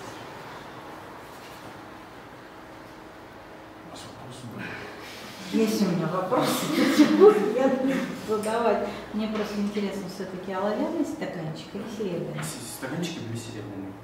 А вы на какой изотопы делали анализы? Вот, да. Вопрос. А, они ничего не делали еще. Это мы еще не промерили, которые, да? Вы их делали в серебряных стаканчиках? Да. А на что мы их будем мерить? Вопрос. Так, дайте уточнение, надо будет потом посмотреть. Это хорошо, что вы сказали, а то бы я это запихнул сейчас в окислительный реактор. Ну вот, Дмитрий Сергеевич, потому что Ну, да, выяснить. потому что здесь одно звучало, нас а потом предполагалось, что стаканчики будут либо лавянными, либо платиновыми, потом же нам сказали, что Платиновыми? Платина. Ну да. У вас есть платиновые? Мы тоже. Да. Но в дальнейшем при работе нам сказали, что стаканчики будут именно серебряными. Это в зависимости от того, какой анализ вы делаете. То есть Вот. стаканчики точно Понимаете, серебряные. это для другого Из круглых баночек брали стаканчики. Из Лично каких? я баночки не брал. А кто брал? Кто брал? Кто Кто делал? делал навески? Навески делали, получается, Фекличева Елизавета и Это вот эти. Ульяна Попова. Нет, есть? Нет, нет. Нет, ладно, потом, тут нет. потом их спросим. И Ульяна. Ульяны так вообще уже нет. А, Нету. Кузнецова переходит, да? Может, А, Кузнецова. И Попову говорите. Попову уже нету давно. Ладно. Так, вот это вы это самое, это вы хорошо, что сказали. Будем выяснять. То есть народ, смотрите, чтобы не по- пойдет не туда, пробы будут. Ну, да. Поэтому вот, ну как бы Ну, вот кто делал навес, он их не перепутает. Это совсем Надо, значит, надо вот спрашивать, это вот эти две красавицы. Кузнецова и Фекличева. Кузнецова и Фекличева в концерне там Лиза. Да. Вы их э, направьте туда, к нам, на первый этаж. Мы с ними Ну, поговорим. надо, надо разобраться, Нет, ну, иначе. Просто бить не будем, просто спросим, что они конкретно сделали. Ну и Вот. да. Просто оговорили. Ну, мо- может, что-то Ну, я напутали. не кто-то, значит, надо выяснить Нет, все равно. тут я- явно кто-то что-то напутал, вот надо сейчас будет просто выяснить, кто. Ну, то есть, То, есть- то есть- то есть даже, даже не важно кто, важно что. да, Что- важно, что, напутали. на самом деле накручено-то у Да. нас. Вот, и смотрите, ну опять все то же самое, вот, ну не знаю, вот зачем с неуточненными, да, с изменение, да, стабильного изотопа, опять же, что хотите, а, углерод, азот. Вот, вот, Дмитрий Сергеевич, углерод, азот хотят они. Ну, пускай. Серебряные подойдут? Нет. Вот. Нет, ну просто, я говорю, тут, тут надо просто понять, это, это докладчики напутали или те, кто Нет, делал а навески если напутали? это та же работа, что у Маши, то тогда Так это есть та же работа, что и у Маши. Я предполагаю, что наверное, просто на название стаканчиков. Ну, в общем, надо выяснить этот момент. Я просила Лизу сказать, когда они начнут, но они проигнорировали это. Нет, на самом деле, в последний момент. там может быть все не так страшно, потому что, ну, если серебряные, ну, можно попробовать их на водород закинуть. Так, Маше на водород нет? надо. Водород все равно придется. Да. Ну, да, ну, правда, на водород там немножко другая подготовка. Ну, это сама там. А, там же резаные. Что там? Так что, ладно. Меньше объем, они должны быть истол- истолщены в порошок, кстати. Да, так что там... А вот сделали они совсем по-другому. Ладно, будем выяснять. Ну ладно, но вы тоже выясняйте, потому Да. что мало ли кто, вы диплом-то по этой теме собираетесь делать? Или Нет, у в другой вообще- сфере? У, нас у каждого своя Нет. формулировка темы. У вас диплом зоология позвоночник будет? Нет, самый.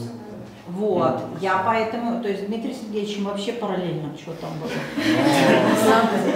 Не, ну я понимаю.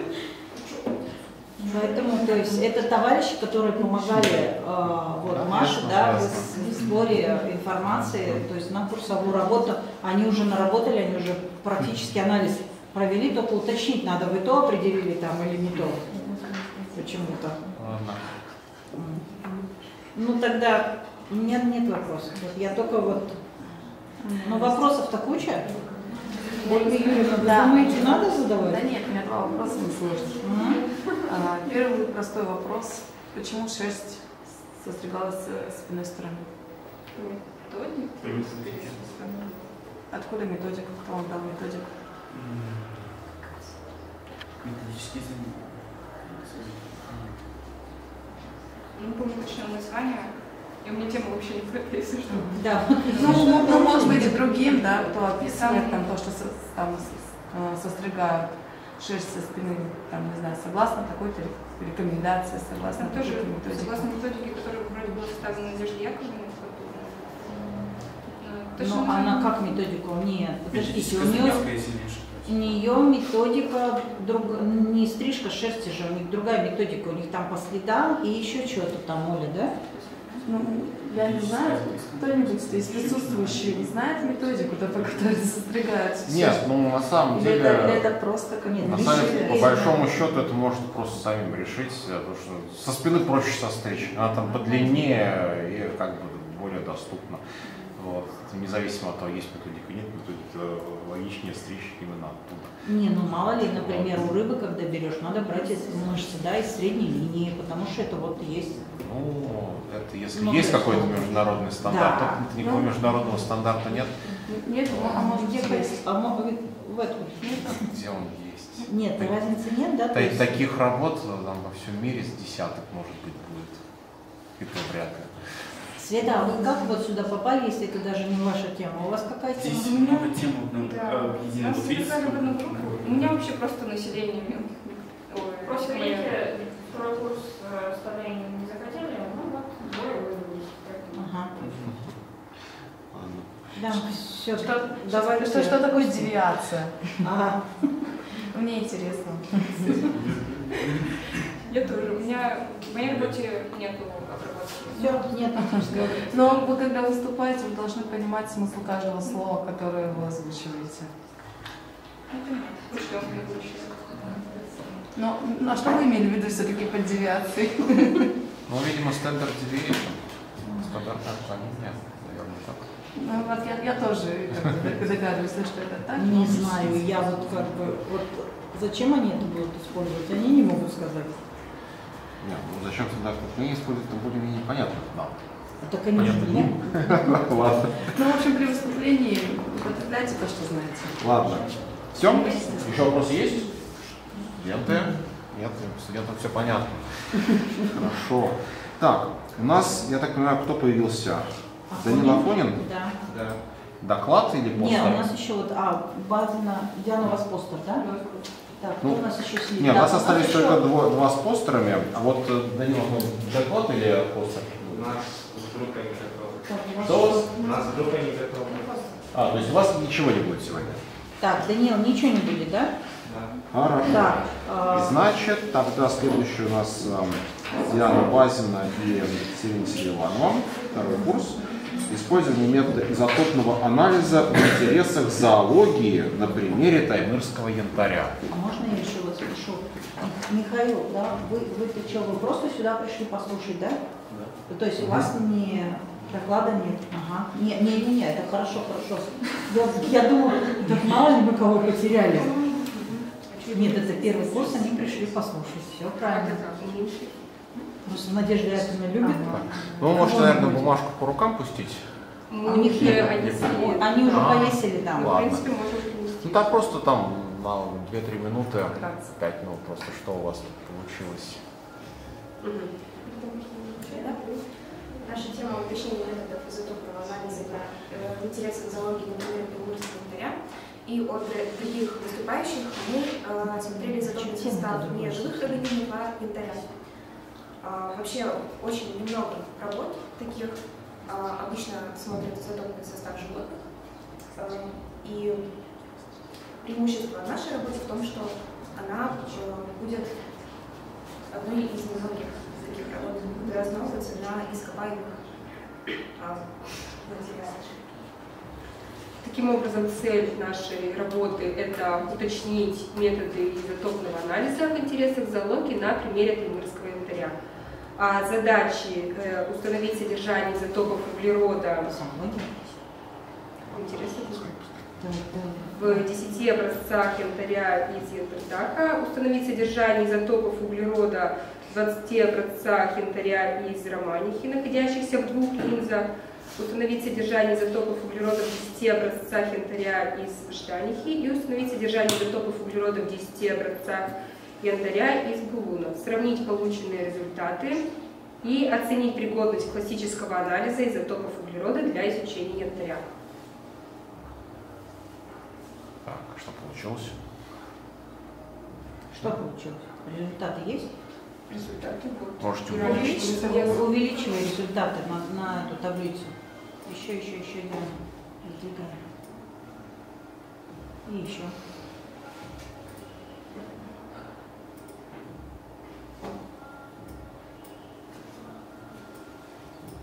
Здесь еще представлены уголь, потому что мы его тоже мерили, но именно в нашей курсовой работе а, только янтарь.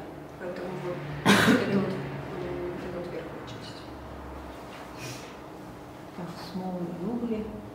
А янтарь где? Ну, Ну, вот, смола это смола. Нет, э, я думаю, может, они отдельно, там, она говорит, уголь сверху. Ну, в смола, а, легенде у вас там что, можете там Надо еще увеличить. нет, это надо, это еще увеличить. Ладно. Также мы сравнили наши результаты и результаты других ученых в других работах, и мы можем сделать вывод о том, что а, получается утяжеление массы изотопов. Это говорит- может говорить о том, что происходило похолодание в атмосфере. периоде. Причем постепенно.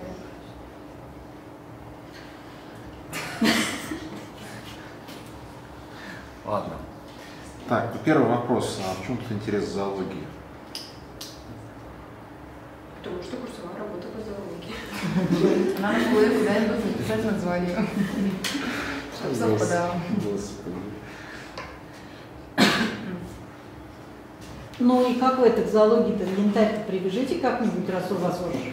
Ну, этот метод, он используется, ну, большинство работает, вот, когда изотопы в шерсти, в костях измеряют, и, И в янтаре. ну, мы попробуем. Где я? Это одно и то же? Ну, А янтарем питаются или чего?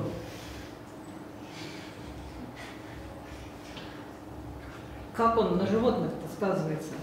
Изотопный состав янтаря.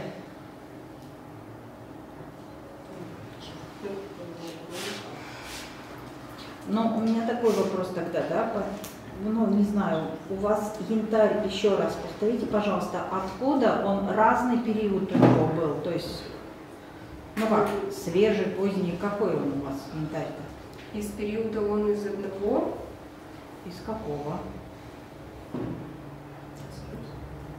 Время, то есть определяли янтарь? там было около ста, да, где-то около ста миллионов. 100 миллионов? Сколько лет-то янтарю? Ну, то есть вы ну, точно не владеете, да, вот таким материалом? Ну, то есть, что просто есть данные, что вот именно и таймырский янтарь, его, ну как, э, его возраст около 100 миллионов лет. Около 100 миллионов. Ну, ну это у таймырского янтаря, у всего, да? Да, А а, что, конкретно, по- а нету, конкретно да? по каждому нет, у нас этих данных нет. М, В общем, тут как-то все сложно с зоологией. Не, ну как бы, вот все-таки, да, то есть, а можно еще, а сколько материала было, сколько янтаря-то вообще было? Ну, получается, 4 из разных мест. Четыре кусочка Э, янтаря. нет, всего получается 5, потому что из одного места двух разных линзов. Пять кусочков янтаря. Да, и Нет. по каждому, Или и по. А и кого? по каждому Я вот по не 10 образцов. А, Это получается вот, все, 50. все, все, поняла. Ну, это там на самом деле больше. С ним все еще сделали. Так, дверь закрыли? Так, на самом деле, Катя, мы с вами сидели, я вам вчера для всех этих точек датировки дал. В миллионах лет. То есть все-таки разные, да, возраста? Таймырский янтарь это очень интересная история, потому что на Таймыре, наверное, там полтора или два десятка местонахождений, они ложатся в четыре разных геологических уровня.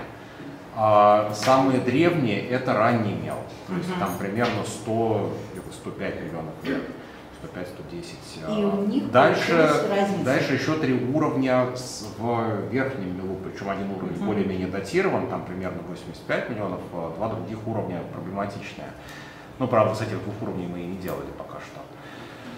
Вот. а, Ну и на самом деле, конечно, тут важно было бы все это сравнить с, с имеющимися в литературе данными. Мгм. Литература-то Ну, то имеется. есть это в процессе еще Ну, вот в процессе, да. Хорошо было бы сюда хоть как-то это вставить, показать на графике, но в принципе нет, там все легло примерно на то, что в мире происходило. А в зоологии как угодно? Вот.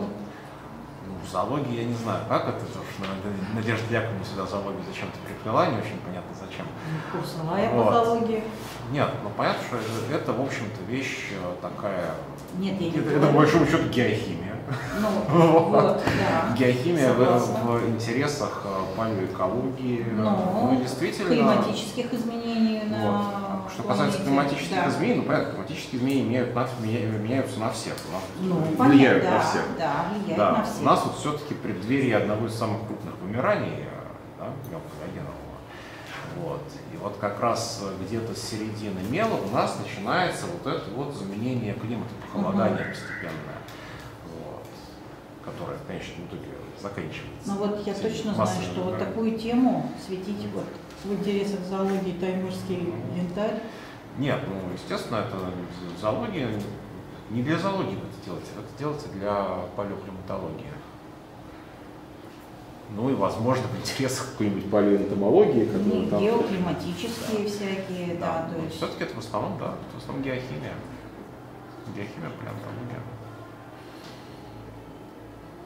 Не, у меня вопросов нет. У вас в задачах написано там, по количеству янтаря, там, не знаю, 20 образцов. Как у вас задачи сейчас? Можете их показать? Так, тут задачи, задач нет. Ну, в общем, нет, лучше вы что-то говорили там по задачам. Просто, ну, это лично моя субъективная рекомендация. Может быть, цифру убрать, а просто сказать, да, там, что вы собираетесь делать. А в у методике, возможно, это у них расписать. есть цифры, вот Дмитрий Сергеевич На сказал, самом деле рекомендация это вообще, когда вы выступаете, вы учтите, что вот из всех присутствующих, э, что означают названия этих местонахождений, предположим, знаю только я один. Ну Вот, для всех ну остальных там Таймыр-то мы Ен- знаем. ну, Таймыр-то вы знаете, а Янтардах, Булун, Ждань. Нет, это, конечно, Вот кто, кто знает, что это такое вообще, да? А, то есть надо что-то все-таки сказать, что вот у нас там в Жданиях это там более древнее, там Янтардах, Булун, Ну, там по времени, да, это, это там Вот. более молодое. Про время спросили. То есть все, все-таки примерно объяснить, что означают названия этих точек, потому что они э, бы, нормальному человеку вообще ничего не говорят. Вот. Я Для так скажу, среди, среди, профессиональных палеонтомологов всех этих названий, ну, дай бог, кто-нибудь знает янтардах. Для нас Таймыр, вот он Таймыр и есть. Так, ну ладно, все, спасибо. И у нас последний пост. Да, может еще вопросы есть? Нет? Ладно, так, у нас еще последний постер. Это Гордеева Алена с большим количеством соавторов. Оценка... это у нас Валерия, Да? Виктория и А- Алена, да? Нет. А. Вера. Вера. То, значит, здесь, а, Виктория, Вера будет. Да. А, и Смирнова Юлия. О, буклет, да. Оценка посмотреть. уровней млекопитающих Дальнего Востока по соотношению изотопов углерода и азота. В принципе, можно открыть еще, у нас есть в вордовском документе, но Да, открывайте. э, я не знаю, как это вообще. Так вот так и потому да, да. Ну, ничего сложного. Тут без... Так, ну, наша тема – это оценка трофических уровней млекопитающих Дальнего Востока по соотношению изотопов углерода и азота. Актуальность данной темы можно начать с того, что любое сообщество представляет собой пищевую сеть, э, то есть схему трофических взаимодействий между видами этого сообщества, экосистемы. Э, Посредством трофических э, цепей осуществляется перенос энергии. Различные организмы занимают соответствующие трофические уровни относительно источников э, поступающей энергии и подразделяется на продуценты, консументы и редуценты. Э, Для определения трофических уровней и изучения пищевых цепочек используется такой метод, как э, изотопная масс-спектрометрия. А, Тем не менее, э, тема изотопного состава млекопитающих Дальнего Востока изучается недостаточно широко, что делает данное исследование актуальным.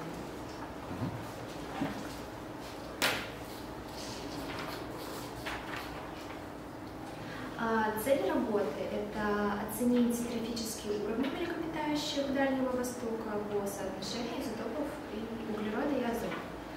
Задачи, которые мы выделили, это оценить уровень изотопов углерода и азота хищников Дальнего Востока, а также оценить уровень изотопа углерода и азота травоядных животных и сравнить полученные результаты с классическим положением трофических уровней изученных млекопитающих. А, Материалы и методы. А, Материалами для исследования послужили собранные Салькиной да, а, заповедника Дальнего Востока образцы шерсти млекопитающих. Материалы э, были в виде шкурок животных, и к которым прилагалась этикетка с указанным местом и датой сбора, и также фамилия, имя, отчество сборщика. Для оценки трофических уровней с помощью соотношения изотопов углерода и азота используется метод масс-спектрометрии. Чтобы получить данные на масс-спектрометре, образцы должны были пройти подготовку, а, которая проходила в два этапа. Это изготовление навесок и подготовка навесок, и подготовка навесок. А, После подготовки навески передавались Дмитрию Сергеевичу а, Копылову, так как он имеет э, разрешение для работы на данном приборе. И полученные результаты были представлены в виде таблицы в Excel.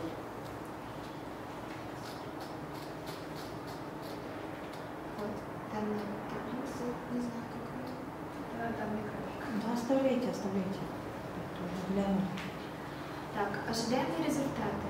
А, С помощью анализа стабильных изотопов азота углерода можно выявить сообщество путем построения трофических сетей, дать точную и интегрированную оценку трофического уровня каждой особи и прояснить характер взаимодействия между ними, оценить поток вещества и энергии, проходящие через сообщество, и оценить э, последствия воздействия природных явлений, климатических изменений и антропогенных факторов на трофическое состояние особей сообщества. Вот. Ну, по графику можно сказать то, что это у нас являются графические уровни, то есть первый, второй, третий, четвертый и так далее. А, Чем больше содержание азота, можно сказать, что ну, это хищник. Чем больше содержания углерода является травоядным. Также можно сказать, что э, это получается консументы первого порядка, которые едят травоядных животных. В принципе, у нас всё. Можно, можно скажу? Свои фотографии лучше в буклете, а не там какие как- картинки.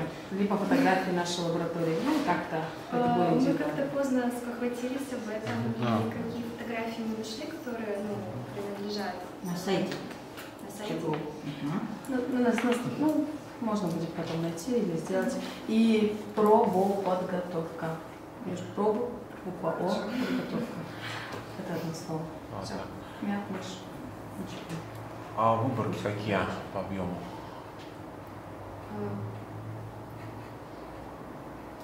Сколько каждого животного у вас взято? Вообще у нас взято 30. Ну, вообще у нас было 32 вида, но из-за того, что... Нет. Сколько каждого вида? А, каждого вида, там разное количество. То есть у нас, например, тигров вроде 7 представителей морских, медведи, э, э, гимнойского медведя, там два вида, да. Кабана 4, а в некоторых даже по одной части есть виды. То есть нам предоставили и дали для, э, сказать, для анализа. Сейчас этих самых изюбров у вас сколько там было? Один. А, Нет, один. нет, нет, два. Два. Да, да. Там Ну, эти интересно. данные предоставлены, это большая часть э, среднее значение вот этих видов. Не, это понятно. Ну, если он один, то какое там среднее значение? Ну, один, что один. Ну, да. да. Не, просто мы же делали все то же самое это по большим выборкам, там сдвиги побольше у нас получались. То есть тут и выборка такая Тут маленькая. выборка, скорее всего, влияет. маленькая. Вот. Ну да. Ну так, в принципе, да, все они раскидались примерно туда, куда и ожидалось. Куда и должно быть раскидаться? Ну да. Ну вот есть смущение по поводу лисицы. Не правда, что она немножко выглядит? Лисы, они А сколько? всегда летают вверх по азоту, не очень понятно почему, но они всегда по азоту выше кошек. Э, Это там, в принципе, можно найти статьи с какими-то А хитрыми сколько, сколько объяснениями. лис было? У них одна лиса была. Нет, ну это не только одна лиса, это в литературе это уже отмечено неоднократно, что лисы от кошек улетают вертикально вверх по азоту. То есть по углероду примерно так же, по азоту вверх. То есть, собственно, здесь получилось все как есть. Вот. Есть еще вопросы? У меня вообще нет вопросов. Ладно, все тогда. Спасибо. Так, ну что, у нас на этом все.